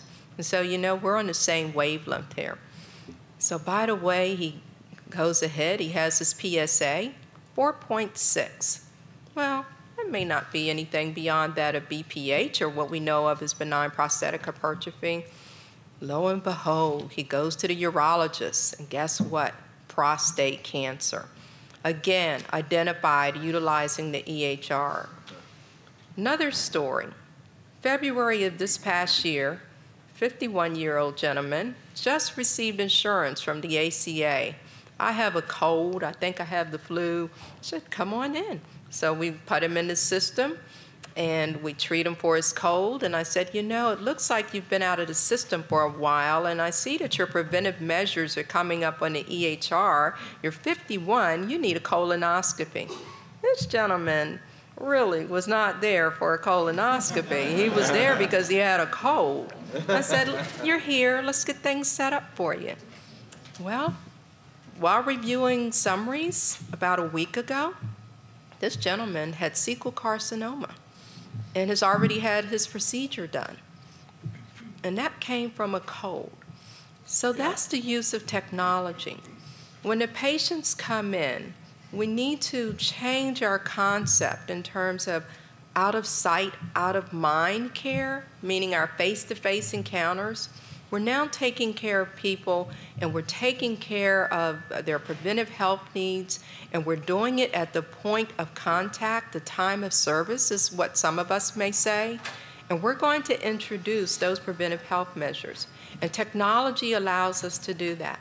There is no way I could have kept up with those needs for those two gentlemen with 23,000 paper charts, yeah. volume one through three or more, and index cards. Technology made a difference. Part of the work that we do is to identify other ways which our colleagues can utilize technology. The electronic health record should not be our foe. It should be similar to the use of our stethoscope. It is a tool to help us better care for people. And if we get really smart with it, we can also utilize it for population health. I've been in my little community for 24 years. I should know the population similar to my, my colleague. He knew the people. We go to Walmart, we go to Food Lion, we go to the same church, we know the people. But guess what? I can't remember who had their mammogram and who had the colonoscopy. But when they come into the office, I need to utilize that. I need to utilize the EHR for that. The EHR should not come between me and the person. The EHR should rapidly get that information, allowing me to have more time to connect with our patients. And that's the goal that we're going for. That's what we would like to see. And so the, we're looking also to patient satisfaction. Once I review the lab, I don't need to call them back in. I'm in a community where we have a turkey processing plant, or we did, and we're about to get another one, but they don't have time to get off of work to come learn that they have elevated cholesterol. So we utilize the patient portal. We utilize their smartphones and we get that information. Not only the result of the laboratory, but what you should do. Did you know the Mediterranean diet is now being advocated to help decrease the risk of stroke? We can get that information to them utilizing this technology. So patients like that, they're happier with that type of communication. And professional satisfaction. I'm a mom. I have four kids. I have a husband. I have a cat and a couple of kittens, I believe, and I have some dogs. So we need to take care of ourselves and take care of our family and still be part of the community. And that's what the EHR has allowed us to do. We just introduced fiber optics in our little community, my little practice on my little corner. We're the only one who has fiber optics in the entire area, but we're going to get that spread out to the rest of the community. So that's what technology should do. It should help us. It should be our friend and not our foe. So for those physicians who are still complaining about why you can't work your EHR or your computer, let it be your friend, not your foe. Thank you.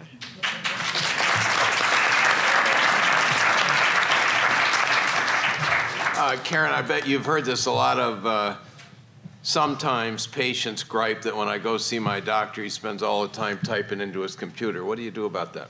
That's when we get with the physician and try to introduce the concept of utilizing the EHR to help you.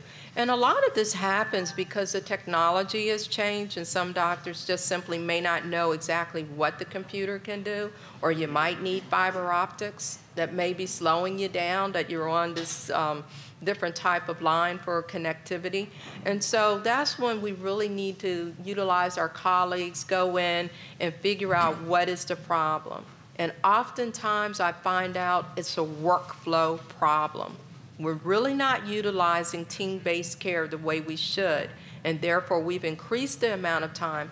Doctors try to get everything at the one visit, yet we don't utilize technology in our best interest to capture all of that information. So that's typically what I've found to be the issue. Do do you suppose family doctors all over North Carolina are using EHRs now, or are they writing notes on cards? I, I hope no one is using three by five cards, but and there might be some. there may be.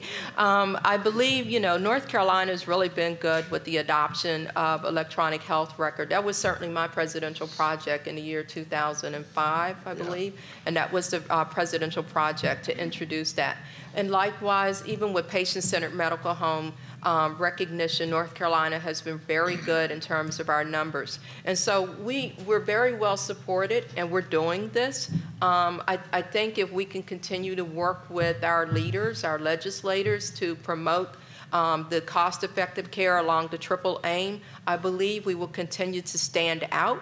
We will be able to take care of the people who live in our state. Uh, And what was transformation of the dinosaur? Ah, transformation of the dinosaur. That was my presidential project. And so we did a series of road shows uh, where we went into several communities um, and we presented why physicians need to uh, utilize EHR. Um, the president, a couple of presidents before me actually um, introduced fax machines in the office, and I said, I will introduce computers in the office, kind of launching off of the same concept, and it was highly successful. We needed to transform our healthcare system, which was in dinosaur mode, um, to get it to where we are now, and to make sure that we have set the platform for where we need to go in the future.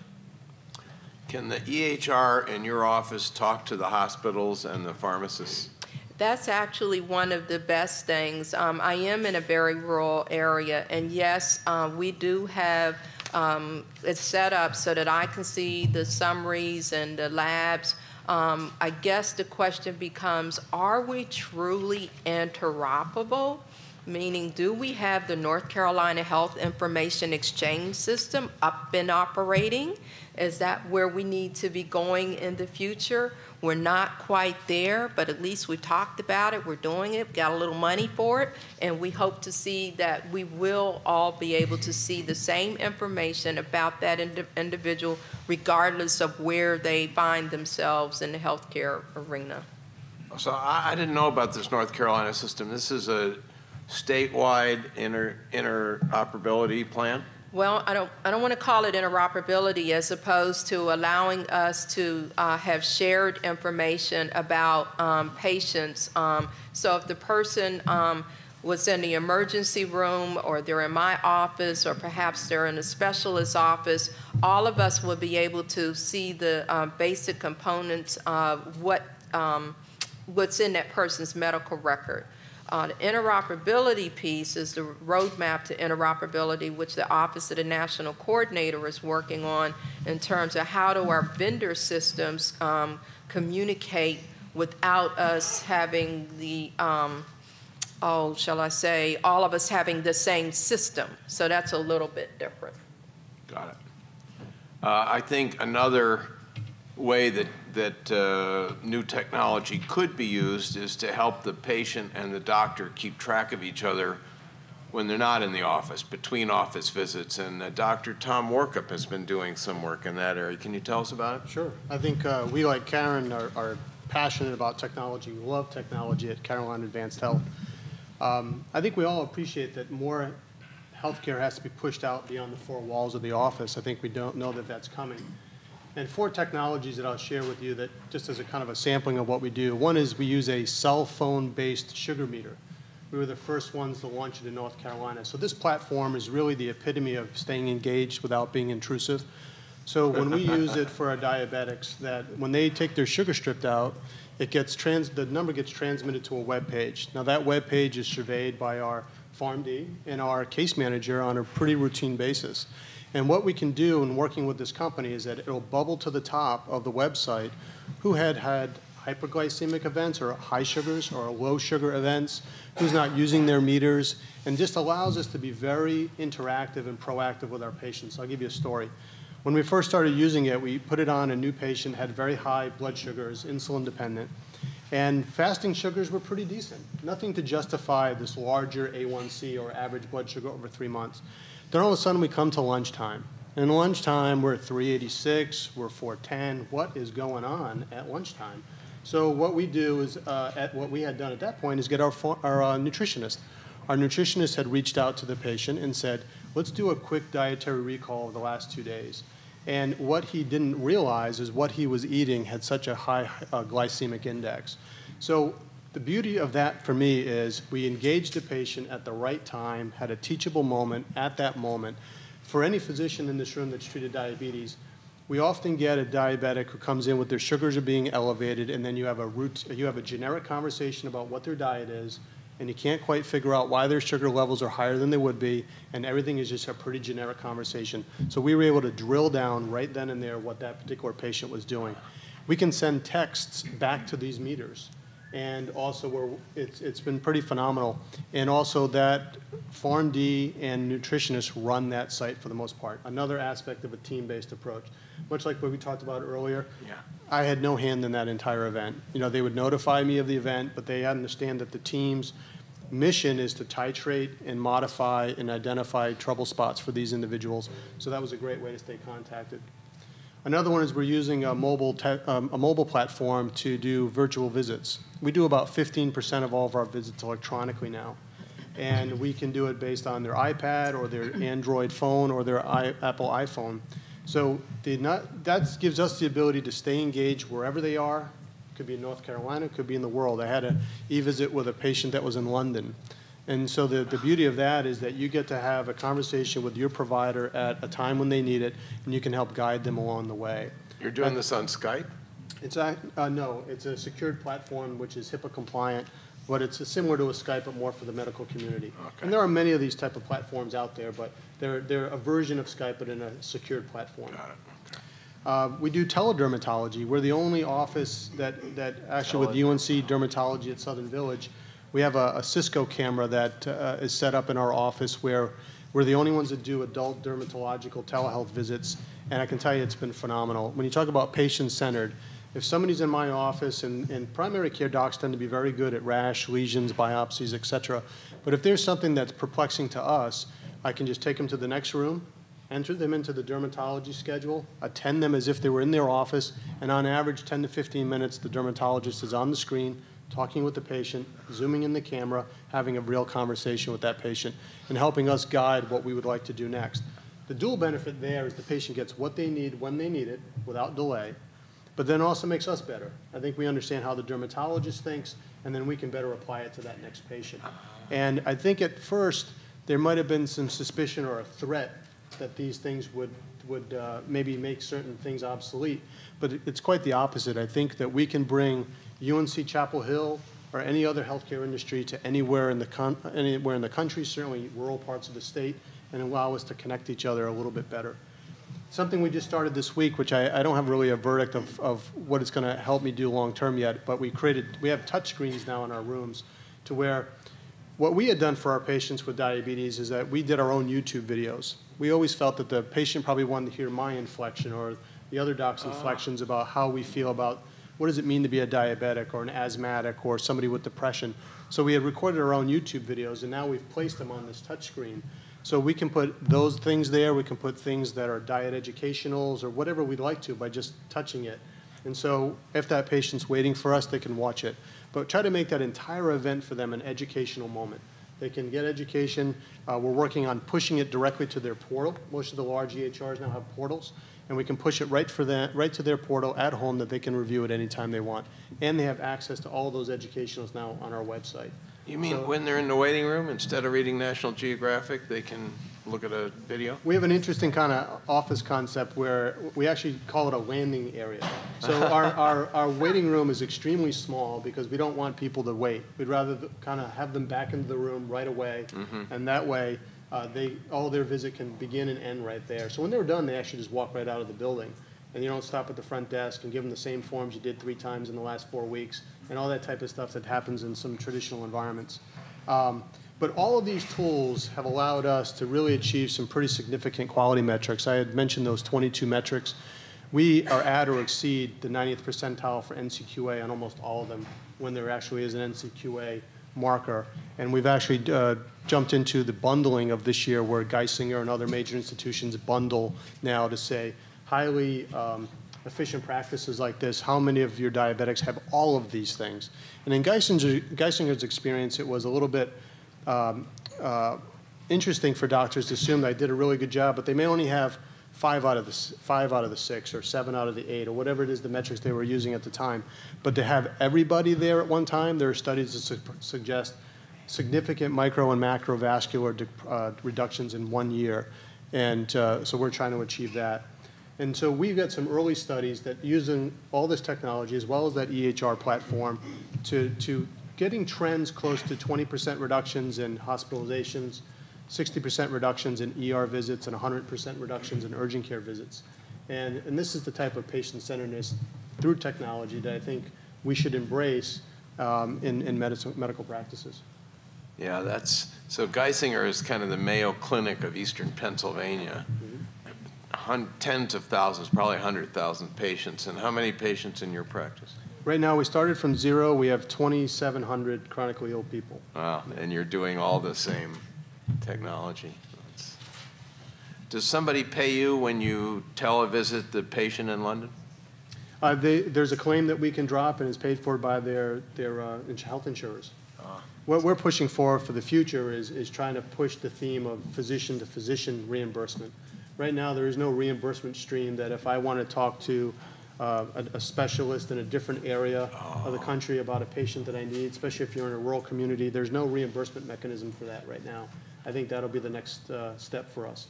And what do you do? You just kind of call on their good nature to get them to help you then, or? A lot of times you find a lot of, a lot of specialists that have a real appetite for this. They, they want to be collegial and they, they want to do it. Um, their environment sometimes makes it difficult for them to, to always be able to participate, but we found plenty of pockets throughout our, our uh, system that would like to do it. Uh, Could I ask you again about the small waiting room? I don't, I don't like the waiting room in my doctor's office. I'm there more than half of the whole visit, I feel. And uh, how, how does yours work? So our, our waiting room is, is, is interesting. We, uh, we don't want to give anybody any indirect messages that you're going to be hanging out here for a while. Yeah. So there's no, there's no TV. There are, there, I think there are a few magazines, but that's it. Uh, the, our goal is that to be respectful to our patients is to try to whisk them back within about five minutes of them being there. So we have, um, we spend a lot of time in our process and our procedures to make that happen. But, uh, and the team-based approach also is grabbing other members of our healthcare team to help out. So we have medical assistants, that's our primary support role within the office. So we have one float medical assistant, so if my primary MA is caught up, they're available to go grab that patient. So that way you don't walk into a room, and, and the opposite tends to happen for us where sometimes you might go into a physician's office and there's nine people there and you're like, oh my goodness, how long am I gonna be here? Yeah. But people will say, there's no one ever here. Like, how many, you know, are you guys open, or, I mean, how many people? So it's kind of a, we're having to retrain patients too on what they should expect out of our- their offices. Ah, that's terrific. Okay, thank you. As I say, I, when I go to the doctor, you spend a lot of time in the waiting room, and there are a bunch of other people, and you wonder how sick they are. And, uh, and after a while, you know, a receptionist comes out with a chart, and I think under HIPAA, they can't say your last name. So she says, uh, Tom, is there a Tom, Tom, any Tom here? Yeah, I think that's me. Uh, and uh, I used to live in Japan, and uh, went to the doctor in Japan, and the waiting room looks identical. You know, it's, it's just a waiting room. There's a receptionist and National Geographic and stuff. And uh, but the receptionist comes out with her chart, and she says, "Tomaso Rito-sama irashaimasu ka?" Tomaso Rito-sama irashaimasu ka, and that means. Has the highly honorable Thomas Reid graced us with his presence today? you know, you, you feel better before you even see the doctor. you know? I've been trying to get that introduced in Denver, but it, they're not. Uh... So, um, what we've heard today, I, I just, as I said earlier, kind of people who pay attention to health policy nationally are looking at North Carolina because, we have seen the kind of things going on in this state that are really putting North Carolina, and particularly primary care in North Carolina, really at the cutting edge, at the front edge of improvements in American medicine overall. And so here's the question, can we, can we take it out of Granite Falls? Can we take it out of Cherryville and, and extend this? Um, what do you think we ought to do um, to see the kind of innovation we're seeing in North Carolina uh, expanded, well, to the rest of North Carolina, but to, to the whole country? And I, I, think I'll just ask everybody. I'll start with Ed, if you don't mind. What do you think? How could we take the lessons of Granite Falls and let the rest of the country learn from them? Well, I think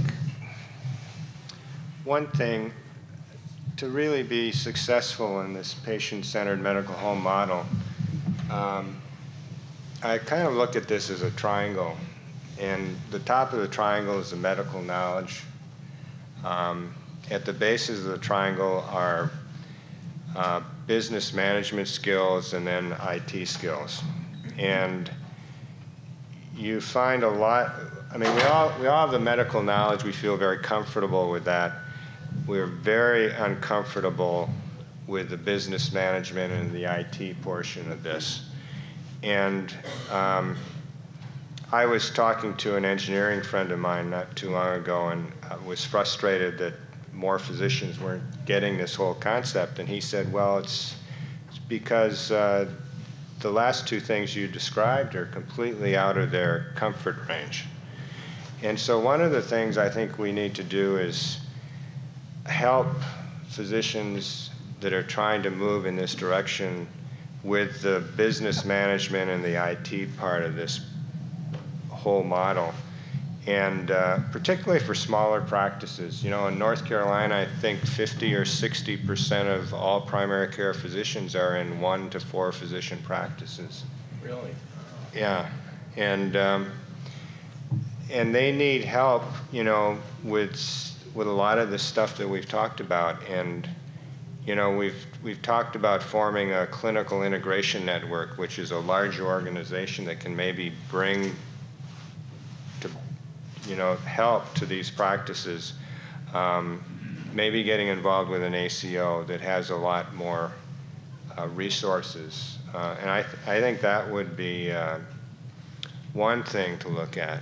Um, secondly, we've got this model that uh, a lot of physicians really aren't aware of in, in the state, but certainly I think we have more notoriety outside of the state, but we've got this model CCNC, which has basically defined what the medical home is. And uh, they have all the infrastructure in place the farm PharmDs, the mental health, the patient care managers. And if, if we could convince the rest of the payers um, to take all those disparate parts and uh, hook them up with all these physicians in all these counties. Yes. Um, and you could do that, you know, you could have each of those pieces assigned to five practices in an area. And each day they went to a different practice. And the model is already here. It wouldn't be that hard to, um, to set it up, you know, if you could just get everybody to Have buy. you gone to insurers and said we could do this for you? I haven't, but um, Have- have I'm sure other people in this room that are involved with that uh, have, would- we certainly talk about it. Um, And, um, you know, I I guess couple other things that I'll just throw out there. You know, I think every patient ought to have a primary care provider and everybody ought to have health insurance. You know, I think that ought to be a goal. I think everybody in this room feels that's a goal for not only North Carolina, but the state, uh, or- but the country in general. Um, So I'll stop there. Yeah, that's a, that's a good place to stop. It- it- A decent, ethical, wealthy democracy ought to provide health care for everybody. That seems pretty basic to me, and all the other ones do. I was told to stay non-political, so I'm going to stop right there.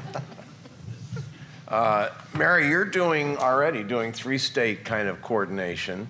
Uh, Can we expand this? Uh, So um, let me just say, lots of people are doing three-state coordination, Yeah. but let, let me um, say, um, talk about expanding just the right kind of experience to our students and residents. That's, that's, I'm representing academics here on the podium. And I'm just blown away by the work I've heard about on the panel today and, and what these folks are doing. And it's, they're, they're great examples of care. Um, but I don't know about you guys, but I'm getting older. And we ha- we've got to get the folks coming behind us. So I want to say a couple of things. One is um, our medical students now, we, in Charlotte, we have you know, about 50 students at any one time. 25 of them are our Charlotte uh, third and fourth year medical students.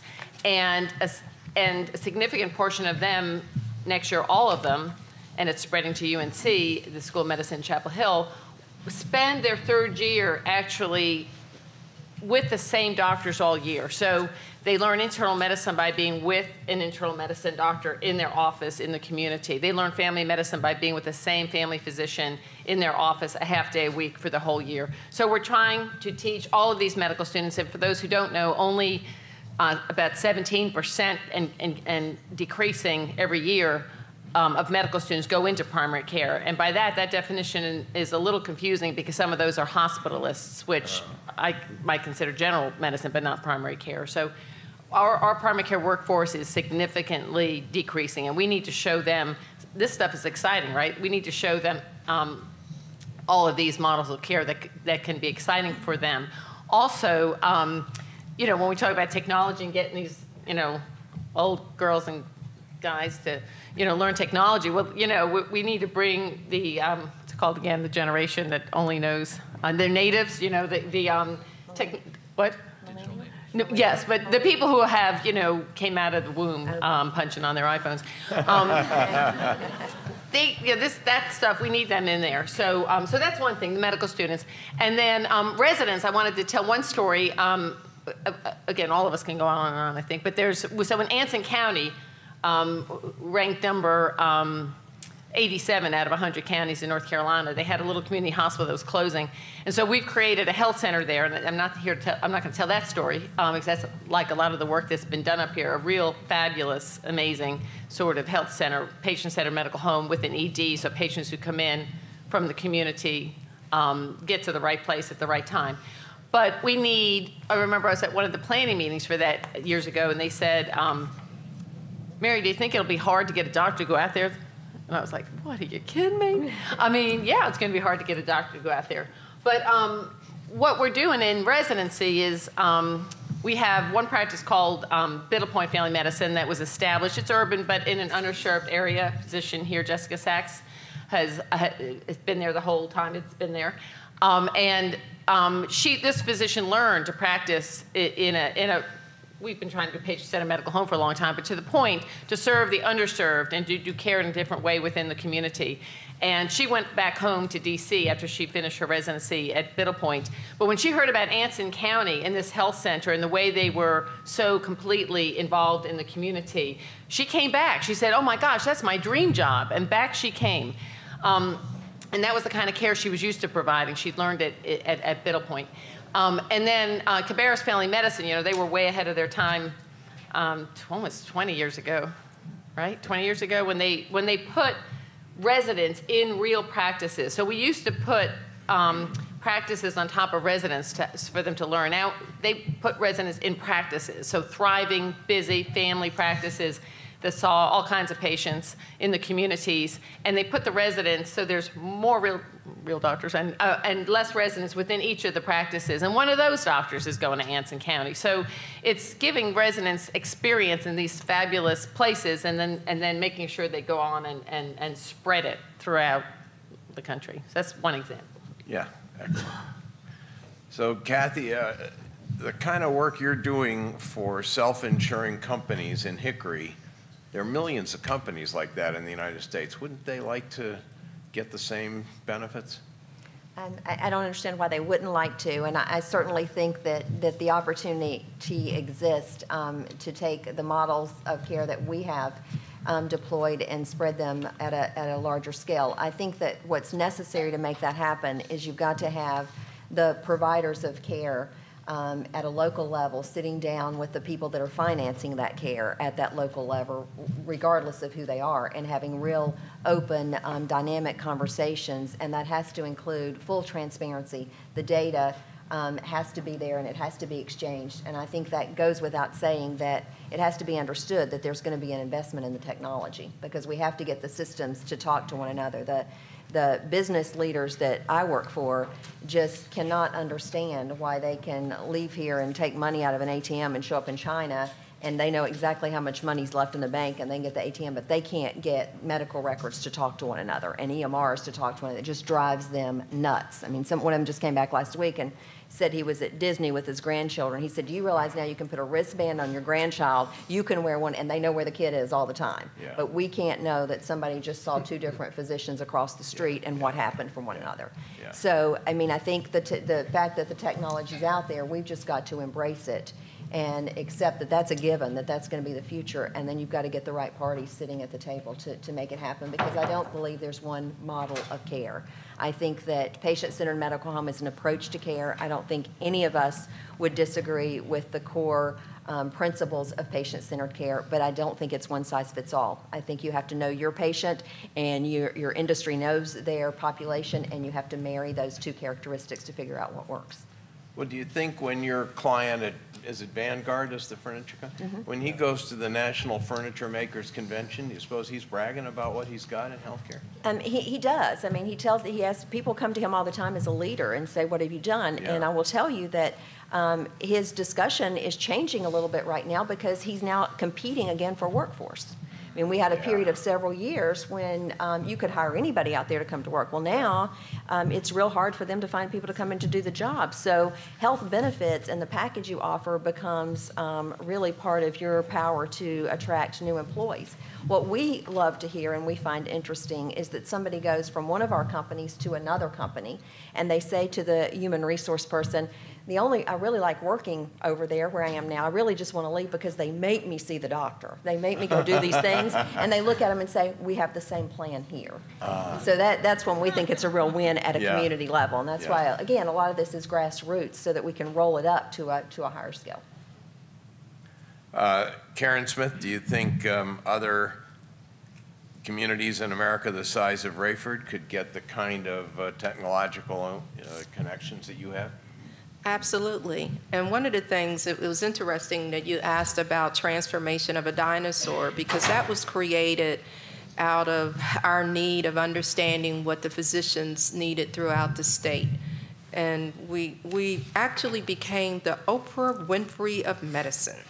And we listened to all the stories that my colleagues from the, the mountains of North Carolina, the coastal, the southern, down east, all of their stories, and we put them together. And boy, they were some stories. So I really felt like Oprah Winfrey. But what we were looking at was what we could do to help physicians change their way of practice, to get increased satisfaction in practice. What are we trying to do? We want to create happy doctors so that when patients go see their doctors, they'll have a happy doctor and the doctor will make their patients happy and we might just have improved outcome. So I think it's imperative that we utilize the technology tools to increase the efficiency in the way we practice so that we'll have happy doctors and good outcomes for our patients. So, long answer to the short question yes, I think we can do this. We need our societies, the AAFP, NCAFP, Medical Society, to all be on board with we want to make happy doctors so we can have happy patients. exactly. Uh, I want to ask both Dr. Hall and Dr. Smith this question.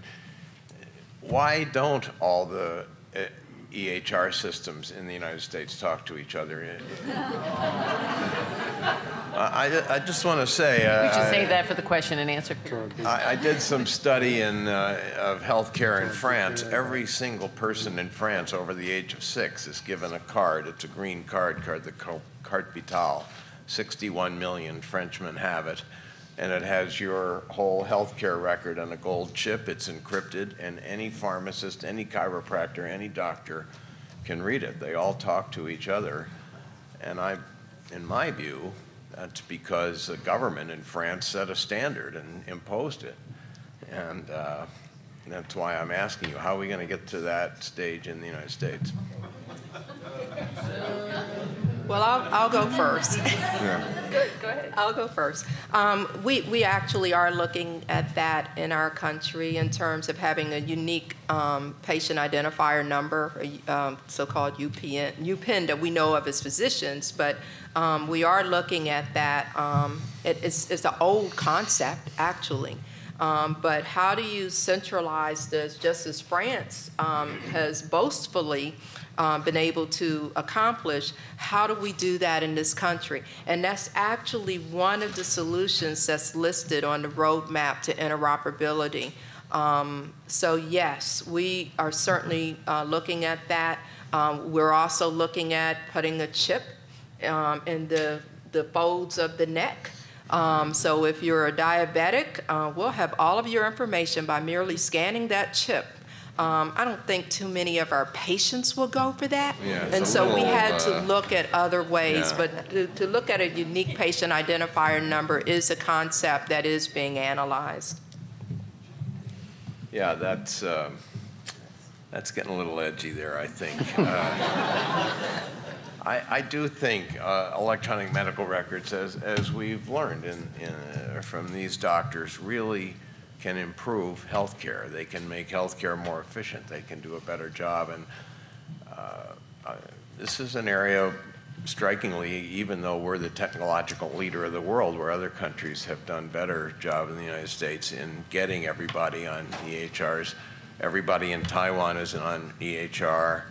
Uh, Britain is going to get everybody on in two years. Even Mexico is going to have an EHR for everybody, and they're all interoperable. And meanwhile, the US has, what, 240 different proprietary systems that don't talk to each other. It's, uh, yeah, it's, it's unfortunate. It kind of ticks me off. Interestingly, um, they, they tried to do it in Germany. In, in France, it's called the carte vitale, the card, the vital card, the card of life. In uh, Taiwan, it's called the e-card. And in Germany, it's called the Gesundheitskarte the health card. And the Germans resisted it. They don't want government having that kind of data about them because of their history. It's pretty interesting. So uh, it's a little touchy. But um, Kim, we, we heard the really dramatic story about your patient, Sylvia, and her management team. Uh, is this spreading around the country? Uh, are other places doing this? Well, here with CCNC, we do have over 10 years of data looking at what we've done or what has been done for uh, more than 10 years. And we've talked about the triple aim of better care for the individual. We have better care for Miss Sylvia. We talk about better care health outcomes, and we do have that information that says this coordinated care effort has provided better care for our population. And then we also have some really important data that shows that North Carolina is leading the country in declining growth spending rates Yes. for our Medicaid population. There are still states with double digit um, spending rates, and ours is down to about 3 to 4 percent. And so, yes, actually, we have states that are coming to us to say, help us with, with implementing a coordinated care system in our state. We have, um, Arkansas has already um, partnered with us, and um, we have a, a couple of other states that have come to us to say, help us. Good, good. Uh, I think, uh, perhaps you know this, but uh, uh, anybody who visits CMS, which is the Center for Medicare and um, Medicaid Services in Washington, D.C., they love community care of North Carolina because of what that this group of primary doctors has done to provide care at really lower cost than most other states. They love it, and I think they would love to export it to other states. They're trying to figure out how to do it, and uh, but I think they'd like that. Uh, Tom, how about your uh, your work on uh, monitoring uh, chronic illness? Is that going on elsewhere? Can we teach the rest of the country how to do this? It, it is definitely going on elsewhere, and, I- and I think I, I'd echo uh, Ed's point earlier that clinically integrated networks is probably where this is best utilized. Can you start to put a centralized location of team members, PharmDs, ca- case managers, and look at a larger population of patients, whether it be from a health insurer or from a network like UNC or others, to say, let me look at all of our high-risk diabetics and look at them from a central location, and then allow maybe under-resourced practices to utilize services through that central hub. So I would say we are doing it on our scale, but it's being thought of on a much larger scale. Yeah. People coming to you to see how you do this, or is that happening? We have frequent visitors that try to get an understanding both on how we would apply it, but then how we feel doing it for the last three and a half years, how we would apply it on a larger scale. Yeah, that's great. And um, Dr. White, what do you think uh, are the kind of population, the, the two in, two out, the teamwork approach that has worked so well in, in uh, Cherryville is, we, could we teach the rest of the country how to do that? I think first what I want to say is thank you and thank the American Academy, um, and Kirsten for doing this campaign across the country, uh, for doing health is primary, because I think the stories that will be told across the country uh, are hugely important, and I think they will go a long way to beginning to change uh, the perception of primary care, valuing primary care. Um, and I think that's really important. I just, I want to thank all of you involved for making this happen and bringing it to North Carolina and then across the country. So thank you. I, I, I guess what I want people to remember about my story is that it is about the firefighters, but it's not completely about the firefighters. It's about a preventable disease and how do we approach a preventable disease. It's, it's not easy, and there are a lot of barriers. Some of those barriers are simply attitudinal and what we value, uh, what society values. Um, I, I'm going to be a little provocative and paraphrase an old Chinese saying from probably a couple of thousand years ago, and that is that superior care prevents the disease, mediocre care um, takes care of the disease when it becomes evident, and inferior care takes care of end stage disease. Yeah. And I think if we can begin to change attitudes and value prevention and reward it, then we will accomplish much. Yeah, that's great.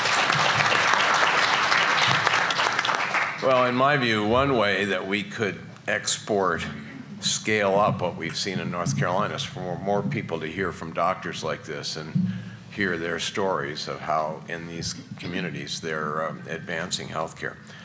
Uh, anyway, it's enough questions from me. I think we're done with that. But we need, we'd like to hear some questions from you. What would you like to know? And I'm going to ask our board chairman, Dr. Stream, to take over that part. Thanks, thanks, Tom. And your, your teaser about we should go and hear more of these stories is great because I think you and I are going to Chicago uh, next month to do this again.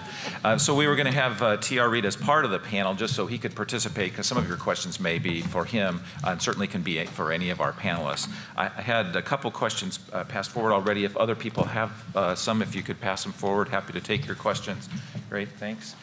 Um, but anyway, anybody first, a live person out there on a microphone that would like to ask a question. Ma'am, with the, with the microphone. Microphone.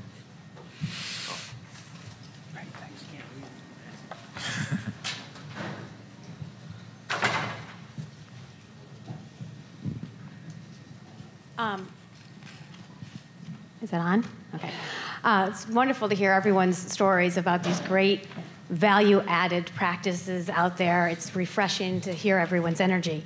My question today follows up on what Dr. White said about value is how do we change the volume-based fee-for-service model that we find ourselves in to a truly value-based payment system where we can all strive and succeed because the fee-for-service volume-based payment system really puts family practice at a disadvantage.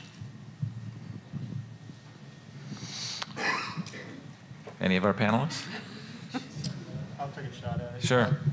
One of the models that we're trying to do is, is to make that leap to fee for value. And, and you're right, it's extremely difficult. And I can say three and a half years later that I'm not so sure that we're significantly closer to a new answer than we were three and a half years ago because right now we live in two worlds. We have hospital-based systems that currently still run on a fee-for-service and are well rewarded for a fee-for-service model, but a lot of the community-based practices are trying to jump into a fee-for-value system. So I, I think my answer to that is we have to drive that conversation. And I think the health insurers will be open to those conversations if we could prove some things that we could do consistently.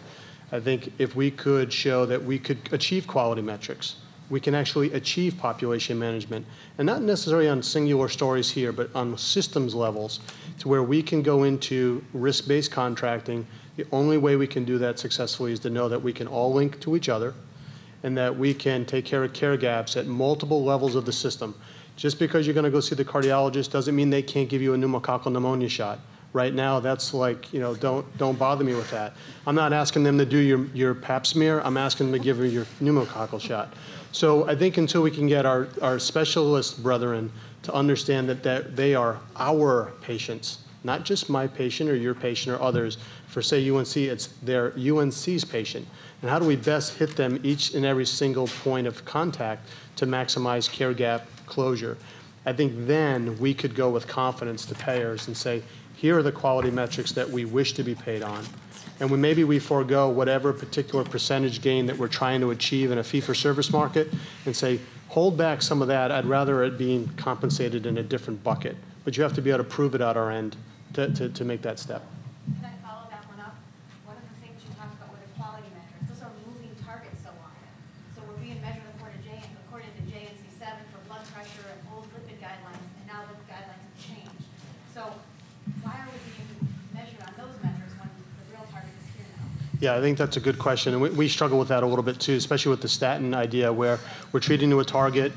then some guidelines from November 13 said maybe not, and it looks like we're rapidly going back to treat to a target.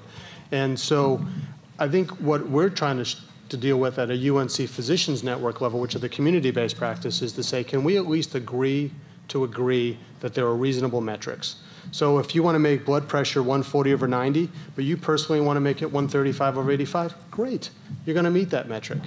And but then how do you deal? But then the first hand shoots up and says, well, what are you going to do about the Medicare population that says that they should be at 150? So these are kind of the difficulties that we do run into, where I think we need to have sober conversations with our brethren and say, here are some quality metrics that we're going to at least agree to for a year, two years, three years, and then exclude the ones that are more controversial. The ones that we've excluded from our metric from a contract basis is pap smear guidelines. Who's on three years, who's on five years? Believe it or not, with all of what Epic is, it can't ferret out the person that's got a three or a five year. That still has to be us. And so that's a little too difficult on a grand scheme.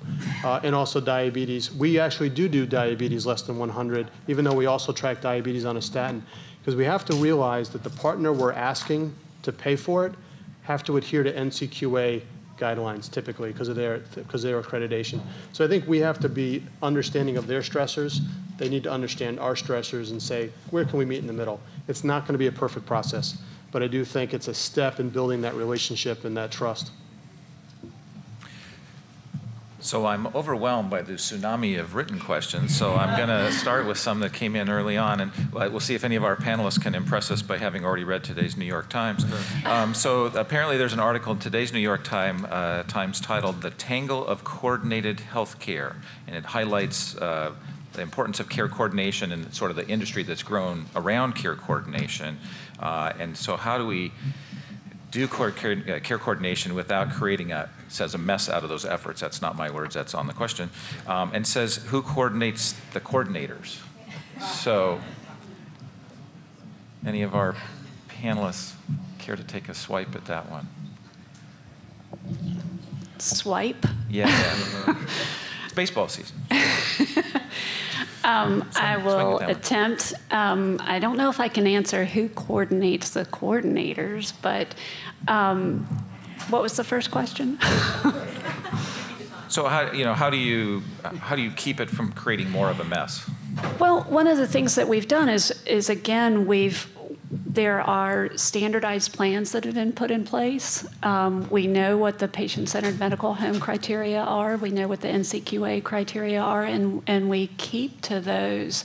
And so we try to avoid some, well, there are still some moving targets, but um, yeah, we, we've all tried to, to um, all the networks and, and, within CCNC, we have this, this standardized plan that we're, we're not, you know, um, just roaming around that we're, we're sticking to that. I wish I could say I, I had read the article because maybe I could respond a little more specific. It was actually, I think, yesterday's New York Times. Okay. The, the problem is, is that when, when the insurers have care coordinators. Yeah, that's where I was going. Offices, yeah. And, then, and that's basically what they were saying. So remember the grapefruit diet, which was you ate a grapefruit and everybody said you lose weight. So what's the American way? Make a grapefruit pill, right? That's because that's the American way. You make a pill. So people have carved out this idea of care coordination when really it doesn't work absent the whole fruit. And the whole fruit is the medical home model with the care coordination integrated into the delivery of care. For the physicians here, you've had your patient get a call from some nurse that they don't know, from city, out of town, from the health plan saying, you need to do this about your blood sugar. And they're like, I'm sorry, excuse you? Uh, how did you get my phone number? Um, it goes back to Tom's question about that trust relationship, and I'm going to close with some comments about that. But if you don't know them, and if they don't know you, the effectiveness of care coordination is severely compromised, perhaps to the point of, I forget who made the point earlier about actually being intrusive. Um, and so, you know, we really need to look to it to be part of a system, not freestanding, would be my response. Can I add something Please, that? Ed. Um, one of the things that we found out in my practice was that if a PharmD was in the practice and they were branded under my name, you know, and this goes, you know, who, who do you want to run all this? You want your primary care medical home to run this. Yes. And so if the PharmD calls a patient and they know that they work for me or that they're affiliated with me, it's no big deal. I had a very difficult time trying to get uh, patients to um, engage in mental health. When, when we, and everybody in this room knows patients that you know they need mental health, but would, would they go to a psychiatrist in another office? No way. Um, but would they come to our patient-centered medical home where a psychiatrist or a psychologist works for us and it's just, it feels right, yeah, they'll do that. So um, basically, I think, you know, we've figured out how to do this. Why don't you let us do it? You know? Um, and everybody's so afraid to let go of that control, but we have, we have figured out how to do it. We're, you, they're just not letting us do it. So to sort of tag on to that, and maybe any of our other uh, panelists, because you're, you're a perfect segue to the next question, which is how do we increase the availability of mental and behavioral health um, in a timely manner uh, that's cost effective and, and reduce the stigma uh, associated with mental health diagnoses? That- So Yeah, there's a, please. obviously, not obviously, uh, I imagine most of you know there's a great shortage of psychiatrists in the country, but also that most of our patients, or most people, not, not just our patients, people don't need psychiatrists. I mean, some people need psychiatrists, but we need all types of help of mental health professionals.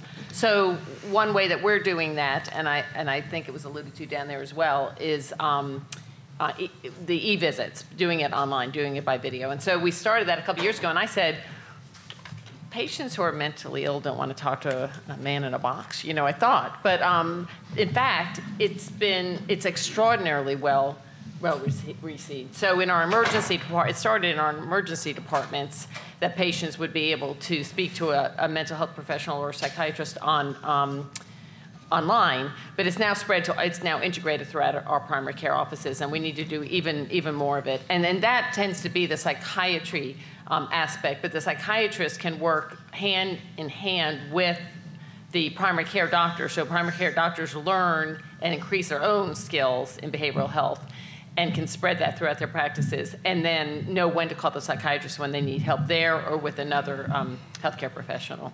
So a lot of that is going online because it, it has to be done a different way. There's simply not enough um, professionals. That and the stigma that you referred to. I mean, I just, we all remember our, I just recently spent months trying to get a patient, one patient, who desperately, a patient I've known forever, and I, you know, have, anyway, how sad that is for, after you've taken care of somebody for 25 years and have them need psychiatric help. But even though she knew me for 25 years, it took me months to get her to a psychiatrist or to even talk to somebody. So we really need it in the point of care in the primary care doctor's office. I'll make two more points on that because we're just, we're just getting ready to integrate behavioral health at our worksite clinics with our, our medical home plans. And two of the challenges that we heard through that process, one was um, that they needed to be on site because they didn't feel like the employees would leave and go to, because the stigma attached, they would not walk into a psychiatric office. Um, the other thing was we had to address the plan benefits. You know, a lot of times in the benefits, there's still a deductible, there's still a lower coinsurance.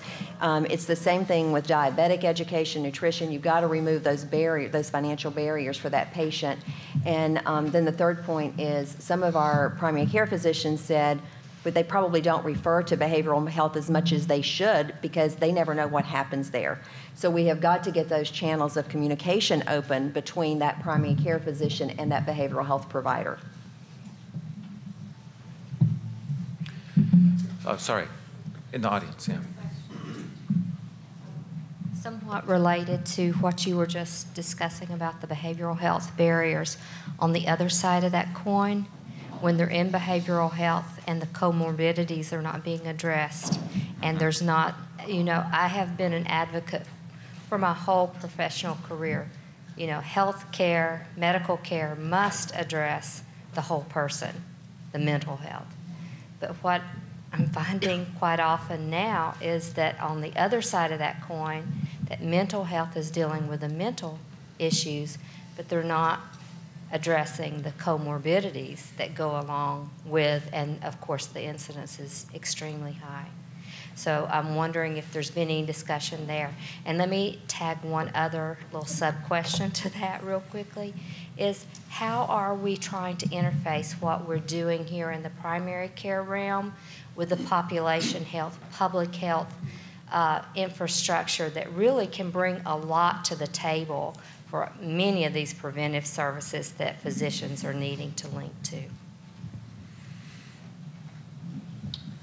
I can uh, give you at least our experience. We, we feel exactly the same way you do. There's no way that you can't have non-bidirectional communication with mental health. I'll share a story with you. One of our worst diabetics when we first started, very, very high numbers, and his PHQ score, which is a depression screen, anything over 15 is moderate to severe. He was 22. So what we said, there is no way that we're going to control your diabetes until we take care of this. So the visit morphed into let's now deal with this first. And having a team-based approach, so we're fortunate to have the, an integrated behavioral health therapist with a liaison psychiatrist who we have access to. But they worked on that aspect, and then we kind of circled back together. But I would share that you could do that in an asynchronous way. You could do that on a remote format. You can do that from a central location. That, that's really pretty wonderful. Uh, so I agree. You, you must, must. I think uh, David Rubinow's, uh, uh, uh, I believe, psychiatric chair or, of one of the UNC departments, and he'll quote statistics like tenfold increase in cost if somebody's got a concurrent depression diagnoses, and, and we actually see that. So we would advocate for what you're describing.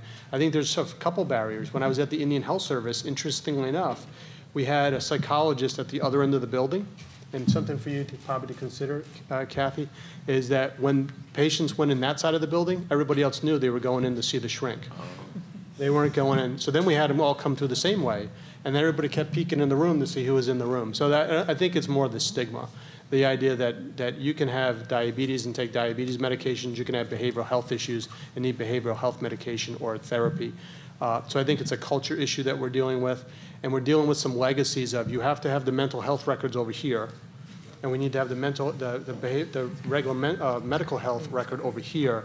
So we have a little problem in our house too that we need to be more open to integrating and break through some of these barriers that still exist. But I would agree, you need to have both. Yeah, Karen. I wanted to also mention, we, we utilize the uh, Cisco system as well, um, not only for uh, the adult um, behavior health, um, but also for the adolescent or children um, for some of their diagnoses. But then there's a third one. We have SBIRT um, in our office. And so to have co-location and have in the EHR um, to utilize our screening tools to identify those individuals who may have these problems where perhaps they did not discuss it on intake, but the screening tools, that makes a difference. Um, as well. So uh, certainly uh, those three uh, avenues uh, help out. In regard to the public health, um, we have an amazing reservoir of services in our public health with our CDEs, we have our health educators. It is an amazing reservoir that we are not utilizing. Uh, we have not learned how to collaborate, how do you do a referral, um, where the person doesn't become a patient of the uh, health department or the public health entity, but they utilize those services. The data that we are, are um, that we have in our public health um, can tell us, um, even with our disease surveillance uh, that can come through the uh, electronic health record, to utilize that information, know what disorders are affecting our region at that very minute, not on the news. Um, so there's a lot of different ways and opportunities to collaborate with public health. And I'll add, Yeah. can I have Actually- one more? Yeah, sure, go ahead, please. One more example is just, and this is, um, that we took our um, psychiatric hospital and, and created a primary care office within it. So in the same way that patients felt comfortable going there, so the patients who were very ill um, or were hospitalized there for a period of time or long-term care, they had a continuity doctor within. So we created just a fellowship where our family doctors learned more about psychiatry and the impact of all the medications and illness on those diseases and could take care of them in a place where they felt safe. Can I add one? Please, Ed. Um, You know, we live in a country that uh, almost in some instances, and this is true, goes right through down to the payers, doesn't believe that mental health is an illness.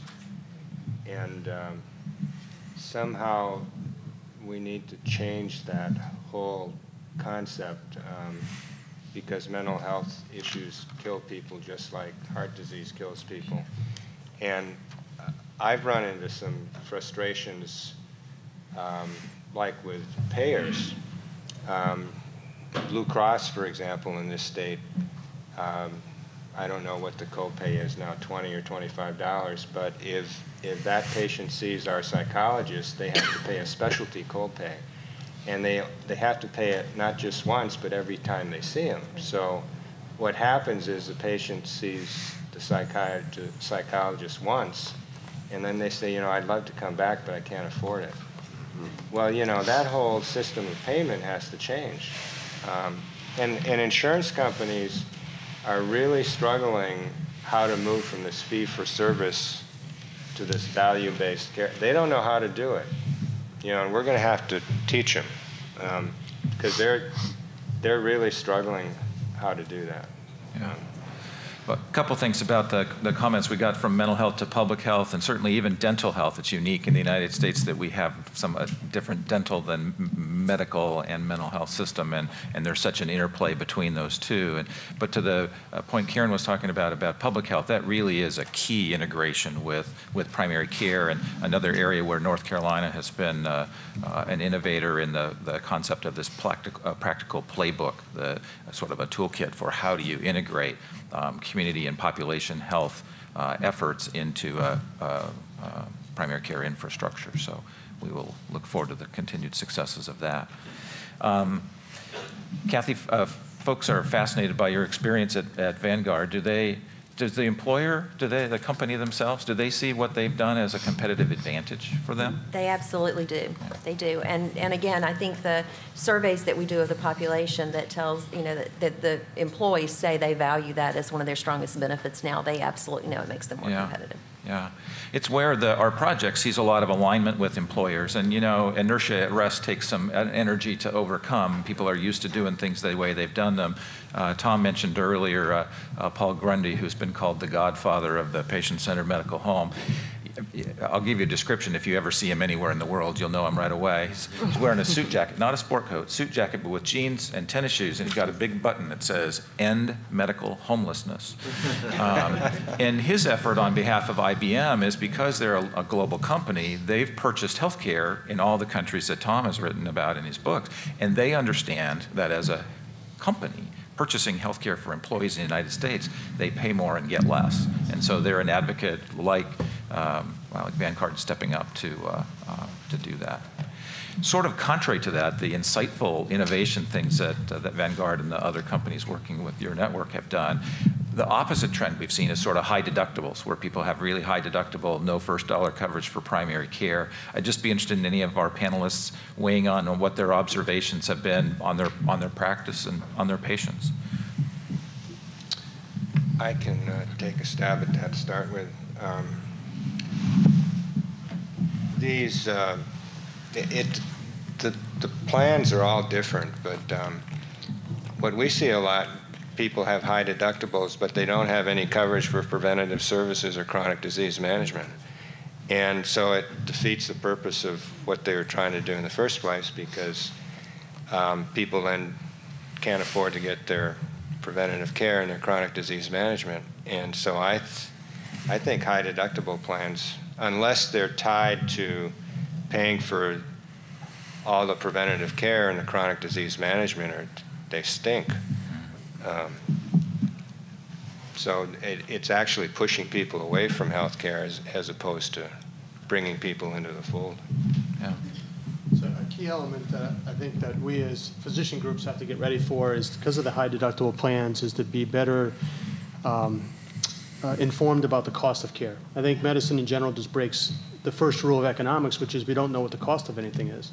And so, you know, and we've been able to to kind of track the cost of an MRI without contrast at various levels in our uh, environment, and there might be a thousand dollar difference between the, the differences. And now, when you're as a consumer have a three thousand or five thousand dollar deductible, it's it's a very simple process for you to decide if you're going to buy that TV or that TV based on the cost differential, and then go from there. But you can't do that in our own healthcare. So what I've found in our practice is as, as consumers have gotten savvier, we need to be as equally savvy in understanding their stressors and to say that, you know what, under your Blue Cross Blue Shield program, it's 100% covered over, over here. If you go here, it's a $1,200 hit against your deductible and coinsurance. We need to know that. It's something that medicine has completely kept their, their, their, their minds out of it, and it's time that we need to have more transparency.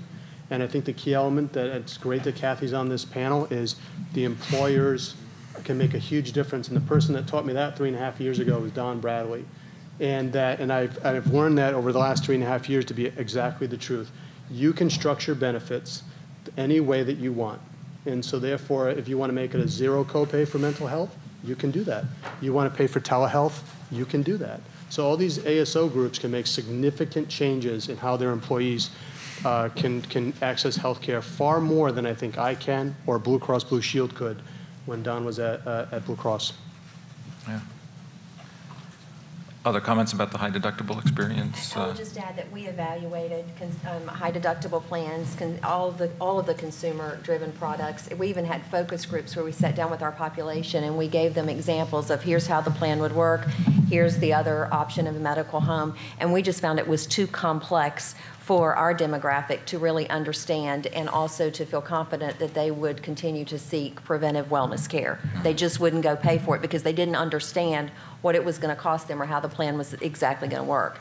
So I think that um, we call it our velvet hammer. John Bray says that he got tired of sticks and carrots, and he said um, that what you really have to have at some level is, is a velvet hammer because there is some segment of our population that are going to wait until something catastrophic happens and they're not going to assume any personal responsibility for their own prevention and wellness. And so that's why our plan kind of has these rules around it that you have to have a physical and you have to do certain things. And as long as you're doing what is defined as industry standard prevention and wellness, then you will have a very attractive benefit and we'll make sure there's no bar- barriers to you for you to get the care you want. So it's not just giving somebody an insurance card, it's an insurance card that comes with a hammer that says here are the things you have to do to keep this lower rate on the insurance plan. And also, and it's true, the doc- doctors do not, we don't know how much things cost, but even when we're busy and, and, and volume is, is the way that we get paid, then it's a lot easier to order a test. So, so we also have to police ourselves, and I'm very reassured by what I mentioned before, the Choosing Wisely campaign, where every, spe- 60 specialties now have decided w- they're monitoring themselves, and what is absolutely not acceptable. You can't order a test in which there's no evidence and it costs thousands of dollars. So next, next question specifically for you, Tom, uh, and, and we're looking for the magic formula, sorry, TR, uh, the magic formula that other countries use to expand their primary care. How did they, if they say face similar problems, how did they address increasing primary care? They all, as I said, all the health ministers I spoke to like to see a ratio of two to one to primary care doctors to specialists. Uh, This week I was in Canada, 55% of the doctors in Canada are primary care doctors, and it's too low. They're really worried about this, and we're at 32%.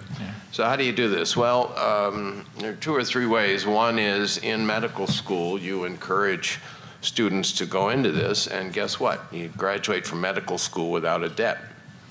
Uh, nobody in any Western European country pays to go to medical school except in Britain under their new austerity regime, and the your tuition is based on your family income. The highest tuition for medical school is 3,000 pounds a year. That's $4,200 a year is the highest. So people don't graduate with a big debt, and therefore they don't have to go into higher paying fields. But most important, I think, uh, Britain has 62% uh, primary care doctors, and um, I don't know if anybody's seen our PBS film Sick Around the World, and in that I spent some time with my family doc in London, and uh, he uh, he uh, has buys a new Jaguar every year, which he bills to the National Health Service. He owns his office and rents it to the National. He's a good capitalist. This guy. It's a socialist system, but he was a capitalist, and. Uh, 62% of the docs are primary care docs, and I said to him, "Why is that? You know, how how come uh, uh, that happens in Britain?" Well, he's a family doctor. He has a doctor's office on the main street, or they call it a surgery. He has a surgery on the high street. He makes twice as much as a cardiac surgeon in the National Health Service. That works. Uh, so these countries understand the value of primary care. They value it. They steer new doctors toward it, and then they reward it. And if you do that, it works. Uh, so those maybe not familiar in, in primary care specialties, median in, income is about half of uh, median subspecialty income, and especially as you said, Tom, with folks graduating with huge medical debt, often um, it that doesn't match up well. Yes. Um, uh, speaking of training folks and students and residents, next question uh, is, uh, since we don't have any uh, students or residents on our panel, but we have people uh, directly involved in medical education, uh, what do you hear from the voices and opinions of uh, students and residents about the healthcare system, about primary care? So, so it's a crisis, as I've referred to already, but I think that the younger generation, um, if they are service-minded, we see we, there's, there's a lot of conversation or looking at millennials, generational things, then the millennials coming up are more about um, relationships and service, and so that's where I maintain some hope. But um, it, it is very difficult, and, and if they are if they are put in practices, put in practices, that's great language. But if if if our opportunities for where they can practice are where there are not happy doctors, um, then that's that's not very re reinforcing either. So we are we are need to be in strong partnerships with all of our practicing doctors and make do all the things we're talking about to have happy doctors who want to work with our students and learners to show them how rewarding a career in primary care is. And so that's what we can control or try to control right now. Uh, but it's the, the numbers are really um, challenging. And a lot of the changes that are happening in our healthcare system now, I mean, 20 years ago, uh, nobody knew what primary care was or what we did. I mean, it's, it is better now, I think, um, as far as the, the country being aware of what primary care is. And we're trying, this Family Medicine for America's Health program is doing it as well. So folks see what a great career it is. And, and actually, we talked about this beforehand. We need to put the right people in medical school. Um, the people who are from rural communities or from communities that are underserved. And that's who we need to recruit into, into um, medical school and then hope that they, they um, learn and go back to a, a, place that needs them. The, the family medicine groups, the academic family medicine groups around the country have developed four pillars by which we are trying to increase our primary care workforce. And, um, and that's, that's one of them, is getting the right people into medical school. But as far as the viewpoint of students and residents, I think there are some in the audience, but they, students, again, I'm a little more hopeful, but residents, they are, they are absolutely overwhelmed with the debt. It's very, even when they're, they're residents and they're trying to get jobs, they're, they're afraid and, and they have to work a whole lot harder than they, uh, really hard to, to, to be able to pay back their debt. So it's, it's difficult. Well, as you said, we have some students and residents in our audience, and we actually have microphones in our audience too. Perhaps we could hear from one of our students or residents. Whoever grabs the mic most quickly might be Aaron. Might have to grab the microphone. Aaron. Yeah. Sure. Um, I would just I'd just like to echo a comment uh, that Conrad and I both mentioned that money makes a lot of sense, but heart makes more, I think. And so, it, you know, you to, to pay a surgeon $600,000 and a family doc 150, would we see them go back and forth? People have to want to be in the OR. And I, I want to be a family doc, and it's because of guys like you. So keep doing what you're doing. Thank you. Thanks.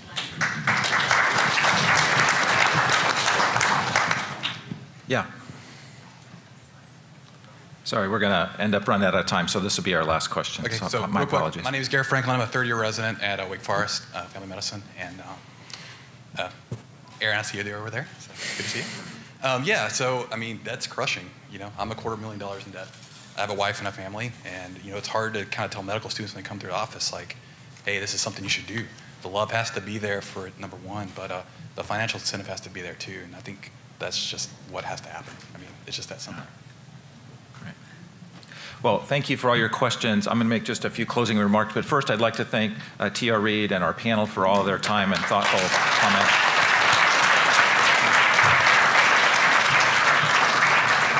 And again, I'd like to thank all of you for being here, for your questions, and for your kind attention. Uh, we are in the beginning efforts of, of this uh, campaign. Uh, as, uh, as, as Mary mentioned, the time is right. More people understand the value of primary care than they ever have before. The research that is informing our project shows that that is absolutely true and that there's a window of opportunity to make this transformative change in our healthcare system right now uh, as far as having this primary care foundation. We encourage your engagement uh, in that, and we're taking our uh, roadshow to other locations uh, and uh, other venues. And the idea is to create that. Uh, to build on that awareness in, in the general public, but in policyholders, in, in employers, so they understand the Vanguard story and understand that they don't just have to work through an intermediary to ratchet down payment on all healthcare services, but that by actually paying primary care differently and better, that they actually might see a positive return um, as they've seen. Uh, let's just comment on some of the, uh, the comments from our, our panel. Uh, Dr. Bujold's comment about reducing uh, admissions 80% in five years, and that wasn't even his goal. That was just the outcome of doing good care, and yet the payment system isn't really aligned with those efforts. And what I heard him say was he gave that care away, and, and there aren't too many people that are going to be in a position to do that. So if we want that sort of return, we need to invest in it. Um, uh, Mary's comment about training in teams to be able to then practice in teams, but we also need payment that aligns with, with teams. There's some of the important team members that are not providers of billable service in a healthcare fee-for-service system. So if you want the medical home team to function efficiently, it really needs to be a global payment for primary care, global primary care services over time that, that uh, compensates the entire team and the infrastructure and technology they need to do their, their work. Uh, we talked about patient engagement, and I'm so glad we had a patient voice today. Uh, we have a patient member of my board of directors who I, I often say has been, no, I won't say it in public, but anyway, she throws a certain flag uh, when, uh, when we sort of get too far off the reservation and into what we think is patient centered. And the way to find out what patients want and need from healthcare is to ask them. Um, and we uh, really uh, see a key part of our initiative to encourage all practices to have a patient advisory mechanism of some kind, a, a council, it might be an individual person. Because as physicians, we don't always know what it is they want. Sometimes it's the parking and the billing office that it's not the care we deliver them, or it's, it's things that can be easily fixed, uh, and it will enable their more positive healthcare experience, and by doing so, improve their healthcare outcomes. So we encourage all practices to have that sort of a mechanism. Community health centers are actually required by law to have that, but, but we see a value of that and, and potentially those organizations having some ability to interact with one another and contribute to transforming our, our healthcare system. Um, I, would like Tom's purple leg um, syndrome uh, story. You know, the reason that that encounter worked is because Tom knew his doctor and his doctor knew Tom. And, you know, if people get their health care and, uh, and no um, uh, negative comment at all about our colleagues that work in retail health clinics or in urgent cares or emergency departments because they do the best job that they can in the environment in which they work. But they don't have the opportunity to build that continuity trust relationship to get people uh, to know them over time. Because the reason that Tom accepted that and didn't think he needed an MRI is because he knew that doctor cared about him and said, that's just a purple leg, go home, go ski. Um, if, if, you know, a, a, fearful patient with a new problem, uh, you you know, and they're in the, the ER and they say, gee, I'm really worried about something bad, they're going to get some diagnostic test that is actually more likely to hurt them than to help them. That's back to the choosing wisely aspect of things, is we need to not do services that are more likely to, to hurt than, uh, than to help people. Um, running out of my comments. Oh, I like Karen's comments about somebody in for a cold and getting a colonoscopy. That's a little far reach. but, but what I always tell my patients when I see them is okay, now we've talked about what you want to talk about. Let's talk about what I want to talk about and what I think is important for your health.